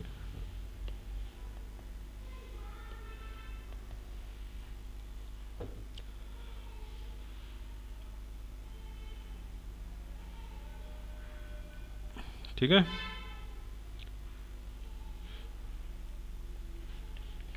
समझ में आ गया? सर एक बार ये बता दो फिर से lambda by two three lambda by two के लिए है ये? अच्छा हमें क्या कंडीशन लेनी है? किस मैक्सिमा मैक्सिमा के लिए तुम क्या लेते हैं वैसे? लेमडा हम्म और? Two lambda three lambda Yes, लेते ना तो टू म्यू टी और एक वो लेमडा बाई टू हमें पार्ट डिफरेंस उसकी वजह से लाना है जो रिफ्लेक्शन फ्रॉम डेंसर मीडियम हो रहा है एक रे का टॉप रे का। ठीक है? अब इस कंडीशन से देख लो तुम्हें क्या मिल रहा है two mu t equal to ऊपर वाला मिल रहा है रिज़ल्ट ओके सर तो यही चीज़ तो मैं पिछली बार दो, दो तीन बार बताया था कि इधर लैमडा बाई टू ना रख करके राइट साइड में तुम दूसरा रिज़ल्ट यूज़ कर लो। मैक्सिमा चाहिए मिनिमा वाला रिज़ल्ट कर लो। ठीक है? अगर लैमडा बाई टू को लेफ़्ट साइड में नहीं रखना है तो उसका एडजस्टमेंट यहाँ पर राइट right साइड में तुम अपोजिट रिज़ल्ट यूज़ करके कर लो। ठीक है, लेकिन अगर यहाँ पे मुझसे बोला जाता है कि इंटेंसिटी मुझे मैक्सिमा का हाफ़ चाहिए, कुछ इस तरह की, ये तो मैक्सिमा मिनिमा की बात हो गई। लेकिन कोई और इंटेंसिटी की बात होती तो मैं exactly two mu t plus lambda by two equal to फिर पार्ट डिफरेंस उस इंटेंसिटी के हिसाब से निकाल के रखता। ठीक है? जो हमने आई अभी आज की क्लास के शुरू में देखा, ठीक है? वो जो रिज़ल्ट देखे थे हमने, वो फिर हम उस हिसाब से यहाँ पर अपनी सिचुएशन जैसी है, वैसी, वैसा का वैसा पार्ट डिफरेंस रखते और यहाँ लेमडा बाई टू रखते। ठीक है? अच्छा। नेक्स्ट हम लोग आगे बढ़ते हैं। लॉयड मिरर वाला जो अरेंजमेंट है, उसमें कैसे होता है?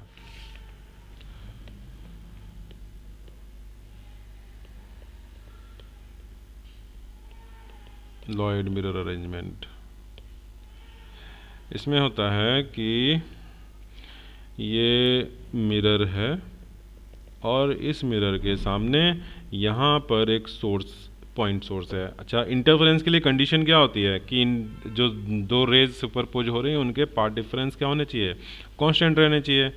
तो उसी के लिए ये चीज़ करी गई है सेटअप ठीक है? अब ये जो मिरर है, इस मिरर से ऐसे रे आएगी और फिर वो रिफ्लेक्ट होकर के इधर जाएगी। और एक चीज़ और होगी कि इसकी यहाँ पर एक इमेज बनेगी। ठीक है? ज़रा जितना डिस्टेंस पर ये ऐसे वो इसी पर एस डैश बन जाएगा। ठीक है? अब यहाँ पे एक तो रे जो है जाएगी डायरेक्ट सोर्स एस से। ठीक है? और एक ये रिफ्लेक्टेड रे जा रही है। इन दोनों रेज का सुपरपोजिशन होगा। Rays number one and ray number two इनके सुपरपोजिशन से हमें स्क्रीन पर मैक्सिमा मिनिमा मिलेंगे। ठीक है? This is Lloyd mirror arrangement अब इसमें हमें क्या चाहिए? हमें ये देखो वाईडीएससी की तरह से ही दिख रहा है। लेकिन वाईडीएससी से, इसमें सिमिलरिटी भी है और डिफरेंस भी है। सिमिलरिटी ये है कि अगर मान लो ये हाइट एच हो तो तुम्हारे जो स्मॉल डी होता है वो यहाँ पे क्या हो जाएगा? यंग्स डबल स्लिट में slit separation slit separation d होता है ना डी हम ले लेंगे टू एच पहली चीज़। ठीक है? क्योंकि इधर भी एच होना है। तो स्लिट सेपरेशन टू एच हो गया। दूसरा क्या डिफरेंस है? डिफरेंस ये है कि रे नंबर टू में रिफ्लेक्शन हुआ तो वहाँ पर एक लैमडा बाई टू या पाई पाई का फ़ेज़ रिवर्सल आ गया। ठीक है? रिफ्लेक्शन में फ़ेज़ रिवर्सल हो गया। तो वन और टू के बीच में अब तुम तुम टू को ही सोचो कि टू आ रही है एस डैश से। ठीक है? अगर टू को सोचो कि वो एस डैश से आ रही है और वन एस से आ रही है तो ये हमारा यंग्स डबल स्लिट एक्सपेरिमेंट है।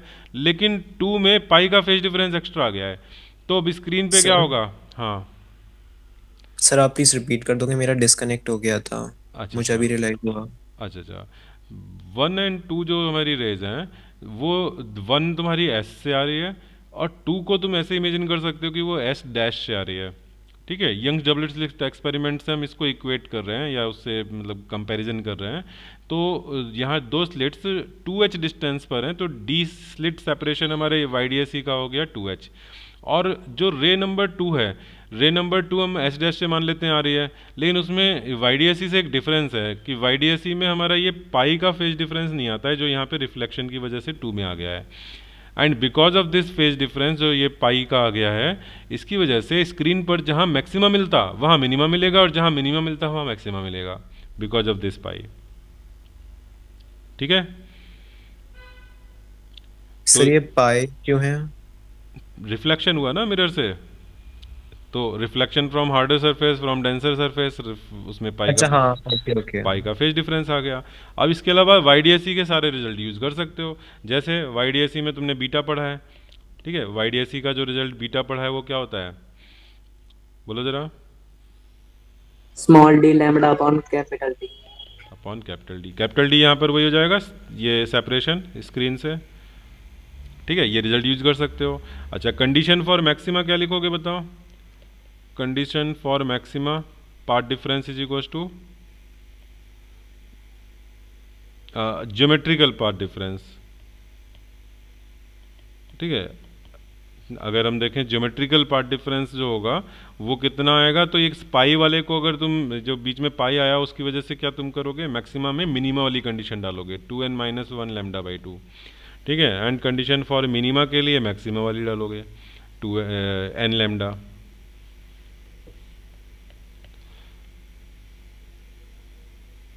ठीक है?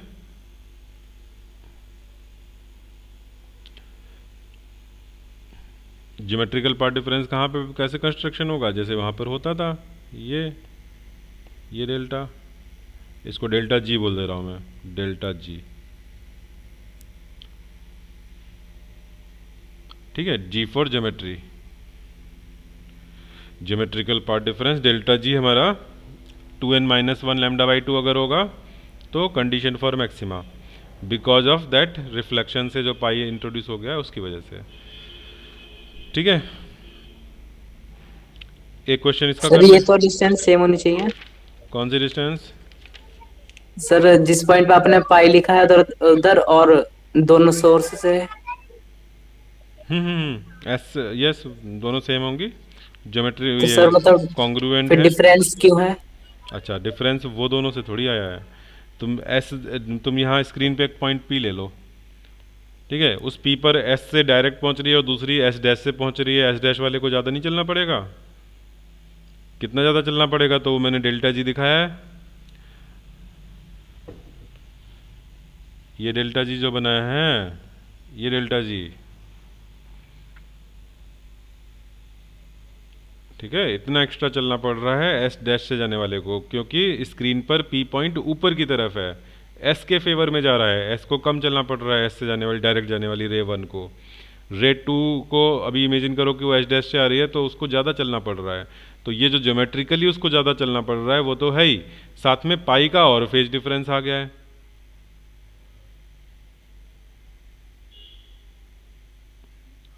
ओके सर हम्म, ठीक है तो वाई से सिमिलरिटी तो तुम उसके रिज़ल्ट यूज़ कर सकते हो।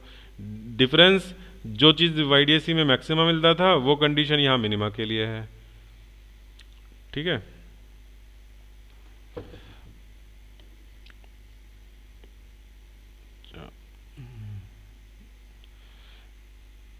एक क्वेश्चन ले लेते हैं। जेई का ही आया हुआ क्वेश्चन सर आप ये लेक्चर रिकॉर्ड कर रहे हैं? हाँ कर रहा है।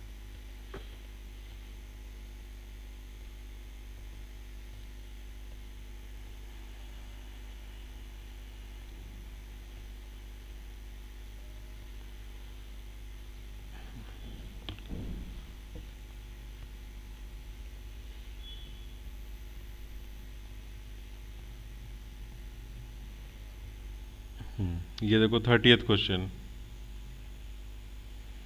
exactly Lloyd mirror नहीं है बट एक मिरर है।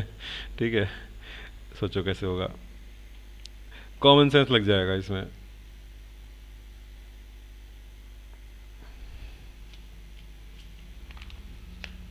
ज्योमेट्री लगाओ, जितना भी हमने पढ़ा, उससे थोड़ा सा कॉमन सेंस मतलब थोड़ी सी इंफॉर्मेशन वहाँ से आ जाएगी। क्या कॉम क्या डिफर आ जाएगी कंडीशन। चलो अभी ट्राई करो फिर मैं बताता हूँ।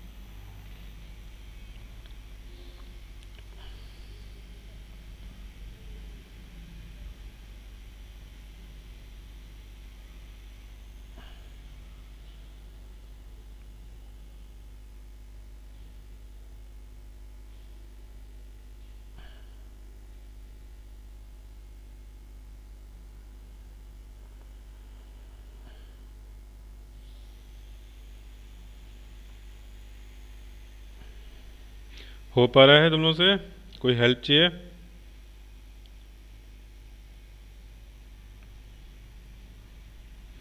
Geometrical path length path difference निकाल लिया है? यहाँ जरा जो नाम दिया हुआ है उनका यूज़ करके बताओ। पार्ट डिफरेंस कितना होगा? Geometrical C O plus O P ठीक है ना? बी से तो सीधे पी पर पहुँच गया और वही उतना डिफ ए से सी तक पे पहुँच गया। ठीक है? अब आगे सी ओ प्लस ओ पी ये ये हमें एक्स्ट्रा चलना पड़ेगा ए से आने वाली रे को। तो C O plus O P को डी के टर्म्स में निकाल लिया। एंगल्स का यूज़ करके।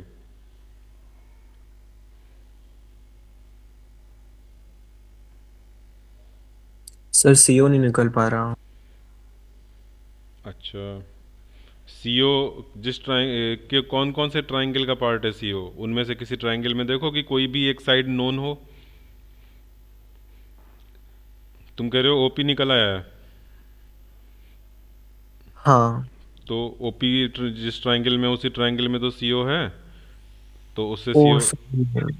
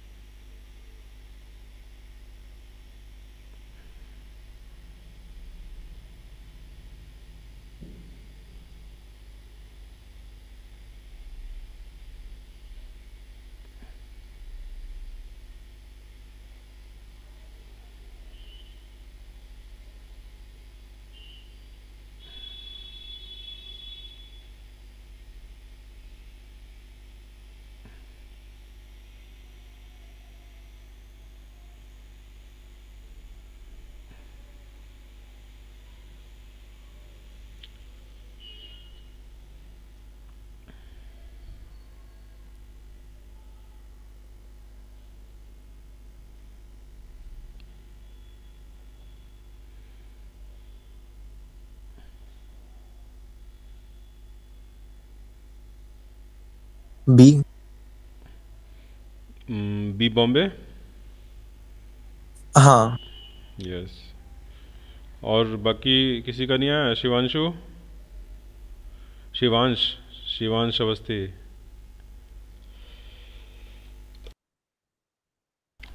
शिवांश जरा बताओ।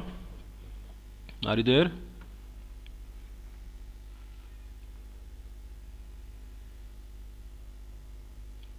अनीशा हाँ शिवांश।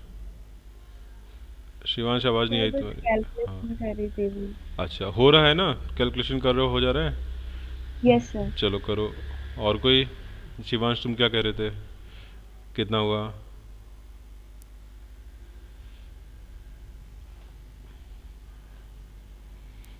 किसी को हेल्प चाहिए तो पूछो। हाँ शिवांश। समझ नहीं आया थोड़ा। समझ में नहीं आया। अच्छा इससे पहले वाला समझ में आया? लॉर्ड मिरर मैंने बताया था। अच्छा लॉयड मिरर तो नहीं है ये अरेंजमेंट क्योंकि वैसा यहाँ पर दो सोर्स एस और एस डैश वगैरह नहीं बन रहे हैं। यहाँ सिंपली तुम्हें पार्ट डिफरेंस देखना है और लॉयड मिरर में जो कॉन्सेप्ट मैंने बताया था कि मिरर से रिफ्लेक्शन में पाई बाई टू पाई का पाई का फ़ेज़ डिफरेंस या path difference lambda by two का जाता है। ठीक है, वो इसमें एक्स्ट्रा यूज़ करना है बस। तो पार्ट डिफरेंस निकालना मैंने अभी बताया C O plus O P किसके टर्म्स में? जो गिवन डिस्टेंस डी है उसके टर्म्स में। तो उसमें तो ज्योमेट्री यूज़ हो रही है, कोई ऑप्टिक्स का कोई यूज़ नहीं हो रहा कॉन्सेप्ट ये ऐसे एक परपेंडिकुलर यहाँ पे डाल लो, और वो परपेंडिकुलर कितना होगा लेंथ डी हो जाएगी. This this length is d तो अब डी का यूज़ करके, और ये एंगल कितना है? थीटा है. ये डी लेंथ यूज़ करके तुम ओ पी निकाल सकते हो. डी अपॉन कॉस थीटा आएगा. फिर ओ, फिर इस ओ पी का यूज़ करके ओ सी निकाल सकते हो। O C is O P cos two theta है। ओ पी की वैल्यू हमने रख दी d upon cos theta into cos two theta ये हो गया। तो path difference geometrical net will be path difference geometrical plus path difference due to reflection geometrical कितना है? डी ज्योमेट्रिकल में तुम्हें इन दोनों को ऐड करना है। O P plus O C and reflection का पाई का, या पार्ट डिफरेंस की बात हो रही है तो पाई नहीं बोलेंगे। Just a second.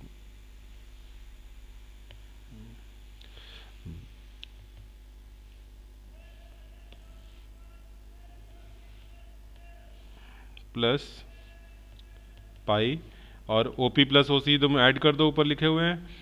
तो डी अपॉन कॉस थीटा तो दोनों में है, one plus cos two theta ठीक है, plus sorry lambda by two path difference lambda by two ठीक है, वो फ़ेज़ था।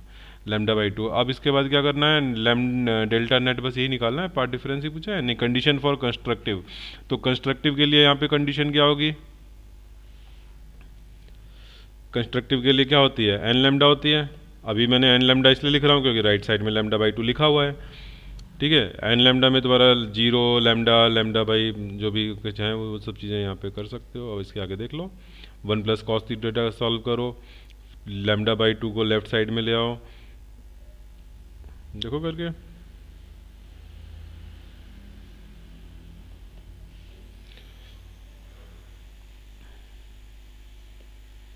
हम एन इजिगोस टू वन करके देख रहे हैं अभी। ठीक है तो lambda minus lambda by two is equals to d upon cos theta into two cos square theta ये क्या आ गया? Two d upon two d into cos theta हो गया। और इधर क्या हो गया? लेमडा बाई टू हो गया। तो यहाँ से तुम्हें क्या चाहिए? डी कंडीशन चाहिए थीटा पर। तो cos theta is equals to lambda by four d आ गया।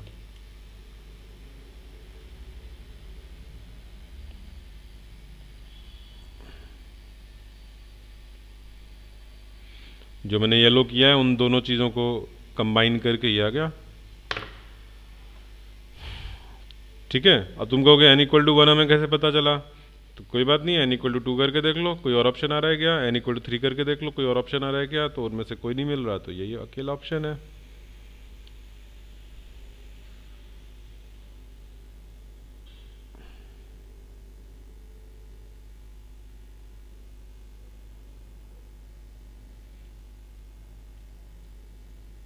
बोलो भाई आगे बढ़े अब? यस सर अच्छा तो यहाँ पे बताओ कितना ऑप्टिक्स थी और कितना कॉमन सेंस था?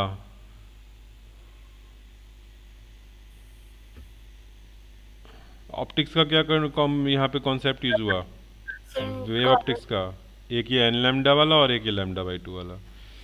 ठीक है ये वेव ऑप्टिक्स थी बाकी सारी ज्योमेट्री और ट्रिग्नोमेट्री थी। ठीक है?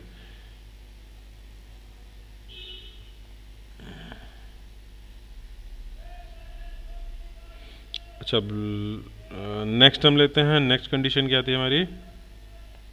नेक्स्ट सेटअप क्या था? लॉयड मिरर के बाद? Prism Fresnel prism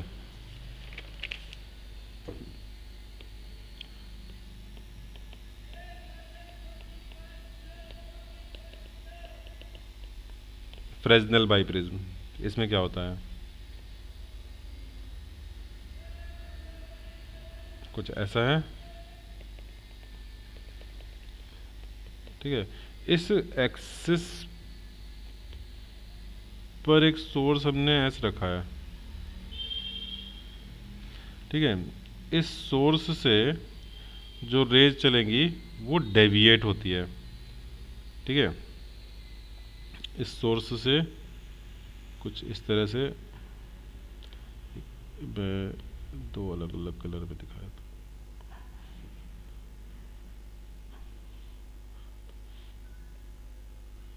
एक्सिस के पास में एक्सिस से दूर। ठीक है, अब इनमें जो डेविएशन होगा, उससे क्या हुआ? ये स्क्रीन पर ऐसे पहुँची।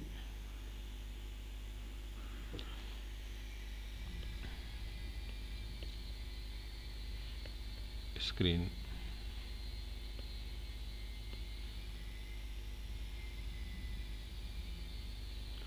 और जो ब्लू वाली रे है ब्लू वाली हमारी ज़्यादा डिस्टेंस वाली है, वो भी हुई रिफ्लेक्ट और वो कुछ ऐसे पहुँची। ठीक है? तो यहाँ पर ये जो हमारी ऊपर से जो रेज हैं, उनको हम अगर पीछे एक्सटेंड करें तो एक हमें सोर्स पता चलेगा। यहाँ पर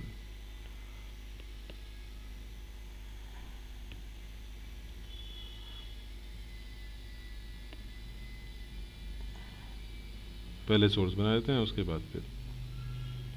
ये एस वन कह लो।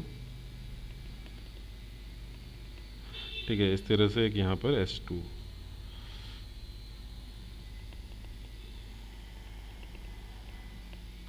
ठीक है, और इसकी कैलकुलेशन हम यहाँ पर डेविएशन से कर सकते हैं कि यहाँ पर डेविएशन डेल्टा है। तो ये जो डिस्टेंस है, ये हमारा in terms of distance a and distance b distance a के टर्म्स में ये डेल्टा हो जाएगा तो हम ये कह सकते हैं कि इसको मैं डी बाई टू बोल दे रहा हूँ। ठीक है?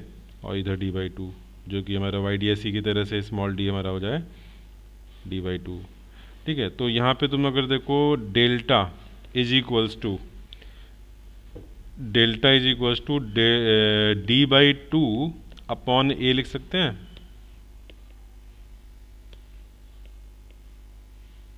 कहाँ देखना है? सर फिगर में एक डाउट है। यहाँ पर। हाँ बोलो। सर इसमें जो हम मतलब पहले एक बार बेंड हुई रेस जब वो हम्म, हम्म, एंटर करी तो सर जब वो एस्केप कर रही है हम्म। तो तब बेंड हो रहा। अच्छा अच्छा। अब ये ये ओवरऑल मैंने इफ़ेक्ट दिखाया। मैं दोनों सरफेस पर अलग अलग नहीं दिखा रहा। चलो यहाँ पर तुम्हारा ओवरऑल कुछ इस तरह का होता है। ठीक है बहुत डिटेल में हम नहीं जा रहे ज्योमेट्री में। ये बस इसलिए बता रहा हूँ कि ये फॉर्मूला तुम याद रख पाओ बस। फॉर्मूला याद रख पाओ इसलिए मैं थोड़ा सा लॉजिक से बता रहा हूँ। अदरवाइज़ पूरा ये डिटेल उसका एक्सप्लेनेशन नहीं है। ठीक है? तो ये पार्ट डिफरेंस तुम्हारा क्या एंगल जो डेविएशन हुआ उससे मैं रिलेट करके कि ये तुम ऐसे लिख सकते हो d by two upon a और अच्छा यहाँ पर तुम्हारा देखो सुपर पोजिशन हुआ रेज का ये हमारी रे है ठीक है और इधर से ये वाली आ रही है तो इस तरह से हमारे यहाँ पर जो इस सरफेस से ऊपर टॉप सरफेस से जो रिफ, रिफ आई हैं रेज और जो नीचे से आई हैं उनमें इंटरफ्रेंस हो रहा है सुपर पोजिशन हो रहा है ठीक है। अच्छा मुझे d small d by two चाहिए होगा तो स्मॉल डी बाई टू हम कैसे निकालते हैं यहाँ पर? एक तो ये ये एंगल ले लो ए प्रिज्म का एंगल ऑफ़ रिफ्रैक्शन जो होता है दैट इज़ एंगल ए तो इस डेल्टा को हम mu minus one into a thin prism के लिए हमने पढ़ा था कि ये ट्रू होता है। ये ऐसे रख दें तो हमारा डी की वैल्यू आ जाएगी mu minus one into angle a into small a upon a ऊपर गया और टू और आ जाएगा यहाँ पे ट्वाइस ऑफ़ दिस ठीक है, ये डी की वैल्यू हो गई। ठीक है, थोड़ा सा रीअरेंज करके लिख देते हैं two two a mu minus one into a. ठीक है, उसके बाद तुम फ्रिंज विड्थ निकाल सकते हो। Fringe width beta is equals to lambda, small d, capital D by small d. ठीक है, और कैपिटल डी कौन है? ए प्लस बी है। ठीक है, अपॉन स्मॉल डी क्या है? Two a mu minus one into a है। ये फ्रिंज विड्थ हो गया। ठीक है रटना नहीं है बीटा का एक्सप्रेशन बट जो मैंने ऊपर लिखा है पार्ट डिफरेंस अगर ये सॉरी ये तुमने अगर स्मॉल डी निकाल लिया, इसको सोच करके तो उसके बाद सब कुछ होता जाएगा।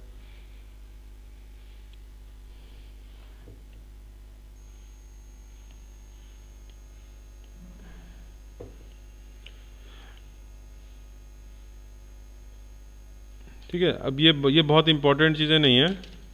थोड़ा सा ये सभी बुक्स में दिया रहता है और क्वेश्चन अब जेई के देखो तो थोड़ा सा उन्होंने स्टैंडर्ड चीज़ों को थोड़ा ट्विस्ट करके दिया है। तो ज़रूरी नहीं कि फ्रेजनल ब्राई प्रिज्म वाली ट्विस्टिंग ही आ जाए या लॉयड मिरर की ही वाला ही सेटअप आ जाए। लेकिन इसमें जो तुम देख रहे हो, वो हो सकता है वहाँ यूज़ हो जाए। ठीक है, इसलिए मैं करा रहा हूँ। अब मैंने तुम लोग को लास्ट क्लास में वो फ्रिंज की शेप्स कराई थी, याद है? यस सर हम्म तो एक क्वेश्चन उस पर भी आया हुआ है। मैं अभी दिखाता हूँ उसको।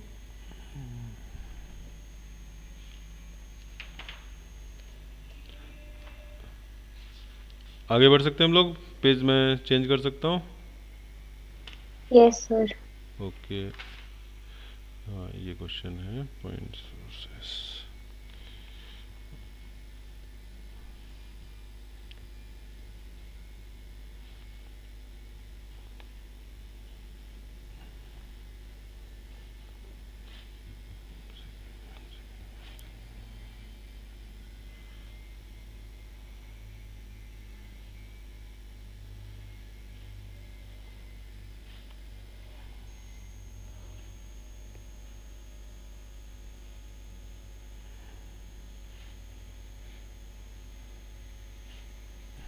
ये थर्टी थ्री देखो जरा।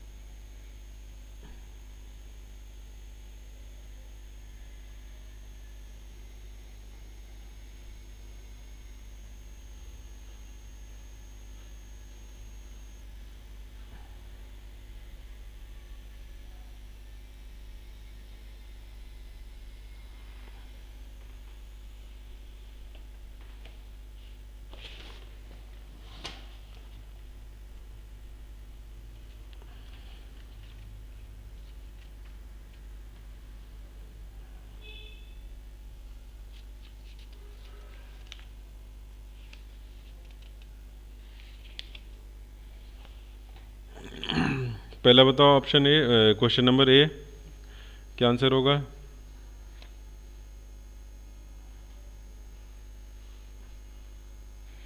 तो उसके लिए जरा बताना सेकंड दो सोर्स से होता है ना तो सेकंड सोर्स हम किसको ले सकते हैं?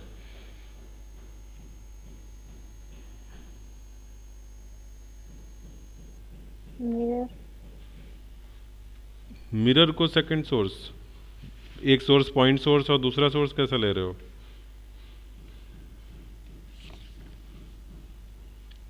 सर दूसरा सोर्स मिरर के अपोजिट साइड में ले सकते हैं ना? तो इमेज बोलो ना उसको इमेज हाँ सर इमेज वर्चुअल इमेज हाँ, तो अब वो दो ऑब्जेक्ट बन जाएँगे तो वो मिरर के थ्रू रिफ्लेक्शन हो रही है। यस अब ये बताओ कि एक इमेज तुम्हारे एक ये एस डैश सोर्स हो गया। ठीक है इस वाले कंडीशन में एस और एस डैश पॉइंट सोर्स हैं और स्क्रीन यहाँ पर है तो स्क्रीन पर कि, किस शेप की फ्रिंजेस मिलती हैं? सर सर्कुलर बाकी लोगों को पता है लास्ट क्लास में मैंने समझाया था, समझ में आया था, और समझ में नहीं आया तो याद रख लो। मैंने तुम्हें चार केसेस बताए थे, उनमें से उससे ज़्यादा कुछ पूछा नहीं जाएगा। तो यहाँ पे सर्कुलर पहला आंसर हो गया ए का। ठीक है, और फिर 2013 के मेंस एग्ज़ाम में एक क्वेश्चन आया है, उसमें बस ए पार्ट ही आया बाकी पार्ट नहीं आया ओनली ए पार्ट ठीक है, इसी तरह का सेटअप दे करके। तो वहाँ पे बस शेप पूछी है कि शेप कैसी होंगी। अच्छा बी पार्ट बताओ।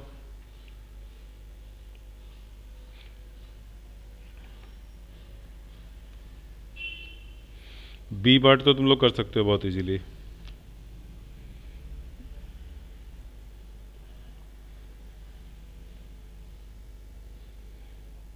एस से डायरेक्ट जो रे आएगी पी पर उसकी इंटेंसिटी आई नॉट है तो जो रिफ्लेक्शन से आएगी एस डैश से जो आएगी उसकी इंटेंसिटी कितनी लोगे?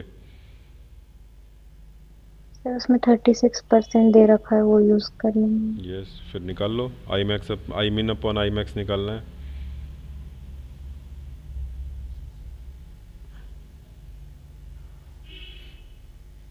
तो ऑर्डिनरी क्वेश्चन है बोर्ड लायक बोर्ड के लायक क्वेश्चन है कि नहीं है? बस तुमको ये समझ में आ जाए कि तुम्हें आई वन कितना आई टू कितना रखना और पूछा क्या है।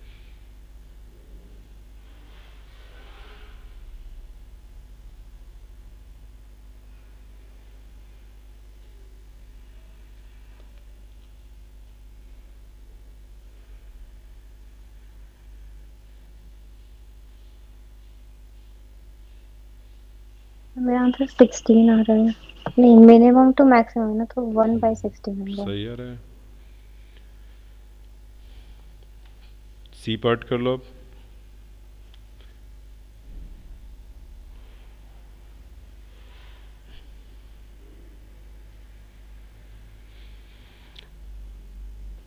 ये बताओ कि अगर हम एक ऑब्जेक्ट प्लेन मिरर के सामने रखा है, उसका इमेज बन रहा है ठीक है? मान लो वन मीटर पे रखा था ऑब्जेक्ट मिरर से तो ऑब्जेक्ट और इमेज के बीच में कितना डिस्टेंस होता है?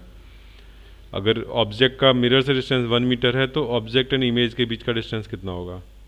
टू मीटर टू मीटर अब तुमने मिरर को ten centimetre towards the object कर दिया। यानी अब डिस्टेंस नाइन्टी सेंटीमीटर रह गया। ठीक है? तो ऑब्जेक्ट एंड इमेज के बीच का डिस्टेंस कितने सेंटीमीटर रिड्यूस हो गया? अगर तुमने मिरर को टेन सेंटीमीटर शिफ्ट किया है तो।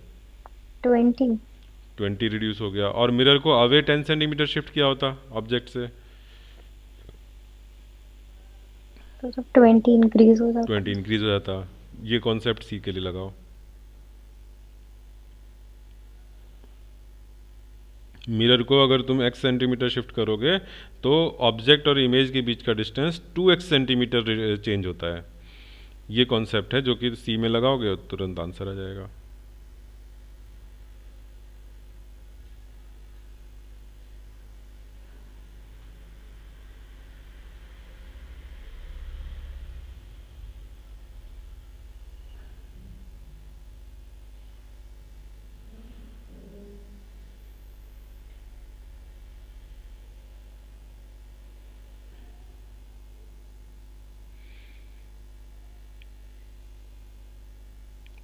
पार्ट डिफरेंस जो मैक्सिमा में हो, आ रहा होगा, पहले वाले मैक्सिमा में, वो पार्ट डिफरेंस अगर सपोज़ डेल्टा है, ठीक है? तो थोड़ा सा हम जब चेंज कर रहे हैं तो अब पार्ट डिफरेंस कितना हो जाए कि हमें अगेन मैक्सिमा मिल जाए? पार्ट डिफरेंस हमें सेम नहीं रखना है। पार्ट डिफरेंस अगर पहले डेल्टा था तो अब अब कितना हो जाए? पार्ट डिफरेंस कि अगेन मैक्सिमा मिल जाए। उस डेल्टा में क्या ऐड करोगे या सब करोगे? मैं लिख के बताऊँ क्या समझ में आया नहीं आया? पहले कुछ पार्ट डिफरेंस था जिससे हमें मैक्सिमा मिल रहा था। ठीक है कंडीशन नंबर वन में पार्ट डिफरेंस डेल्टा था सपोज़ ठीक है, डेल्टा वन कह देते हैं। ठीक, अब दूसरी कंडीशन में जब हमने मिरर को शिफ्ट किया तो अब मुझे डेल्टा टू मिल रहा है पार्ट डिफरेंस ठीक है, पहला पार्ट डिफरेंस मैक्सिमा अगर मिल रहा है तो दूसरे में भी मैक्सिमा ही मिल रहा है। तो इन दोनों में कितना डिफरेंस होगा डेल्टा वन और डेल्टा टू में? लैम्डा का। अगर हम अगर हम मिरर को मिनिमम शिफ्ट करना चाह रहे हैं तो इनमें लैम्डा का पार्ट डिफरेंस होगा lambda one delta one and delta two का जो डिफरेंस होगा दैट विल बी लैम्डा ये बात समझ में आ गई? पहले जो पार्ट डिफरेंस था और अब जो पार्ट डिफरेंस है उनमें डिफरेंस लैम्डा का करोगे। अब पहले वाले में अच्छा अगर मैं बोलूँ कि पहले मिनिमा मिल रहा था और अब भी मिनिमा मिल रहा है तो कितना का तुम ये डिफरेंस रखोगे? अगर सपोज़ इस पर भी मिनिमम मिल रहा है और इस पर भी मिनिमम मिल रहा है और हम मिनिमम शिफ्टिंग कर रहे हैं तो इनका डिफरेंस अब क्या आएगा? तो भी लैम्डा ही आएगा। तो भी लैम्डा ही आएगा। ठीक है? मिनिमा मिनिमा और मैक्सिमा मैक्सिमा डिफरेंस कितना होता है? लैम्डा का ही होता है। तुम सारे मैक्सिमा की पोजीशंस देखो। ये सब इनके बीच में कितने का डिफरेंस है? लैम्डा का। ठीक है? और मिनिमा देखो point five lambda one point five lambda two point five lambda इनमें भी लेमडा का ही डिफरेंस है। ठीक है? अंडरस्टूड तो मेरे मिरर की शिफ्टिंग से पार्ट डिफरेंस में चेंज जो आया, वो लेमडा का आया। और पार्ट डिफरेंस में जो अगर हमने शिफ्टिंग एक्स की करी है तो टू एक्स का चेंज आता है। किसमें? जो इनके जो डिस्टेंस चेंज हो रहे हैं। ठीक है? तो ये जो 2x का चेंज आया वो लैम्डा के इक्वल होना चाहिए तो x should be equal to lambda by two तो इतने की शिफ्टिंग हो गई बस। बोलो। अंडरस्टूड और नॉट चलो तो सब लोगों को आ गया कि नहीं आया किसी को पूछना है तो रिपीट किया जाए। और अगर पूछा होता कि पहले मैक्सिमा था और अब शिफ्टिंग के बाद नियरेस्ट मिनिमम शिफ्टिंग के बाद हमें मिनिमा मिल रहा है तो क्या करते? तो हम टू एक्स इक्वल टू क्या लिखते?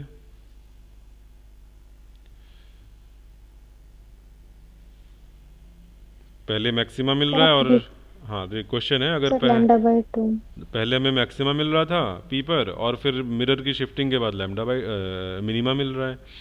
तो शिफ्टिंग जो टू एक्स है वो कितनी होती? तो वो lambda by two lambda by two होती शांतनु समझ में आ रहा है?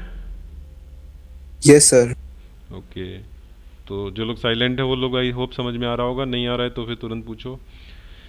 ठीक है तो बताओ कैसी अंडरस्टैंडिंग रही? तुम लोगों को कॉन्फिडेंस आ रहा है इस सब्जेक्ट में?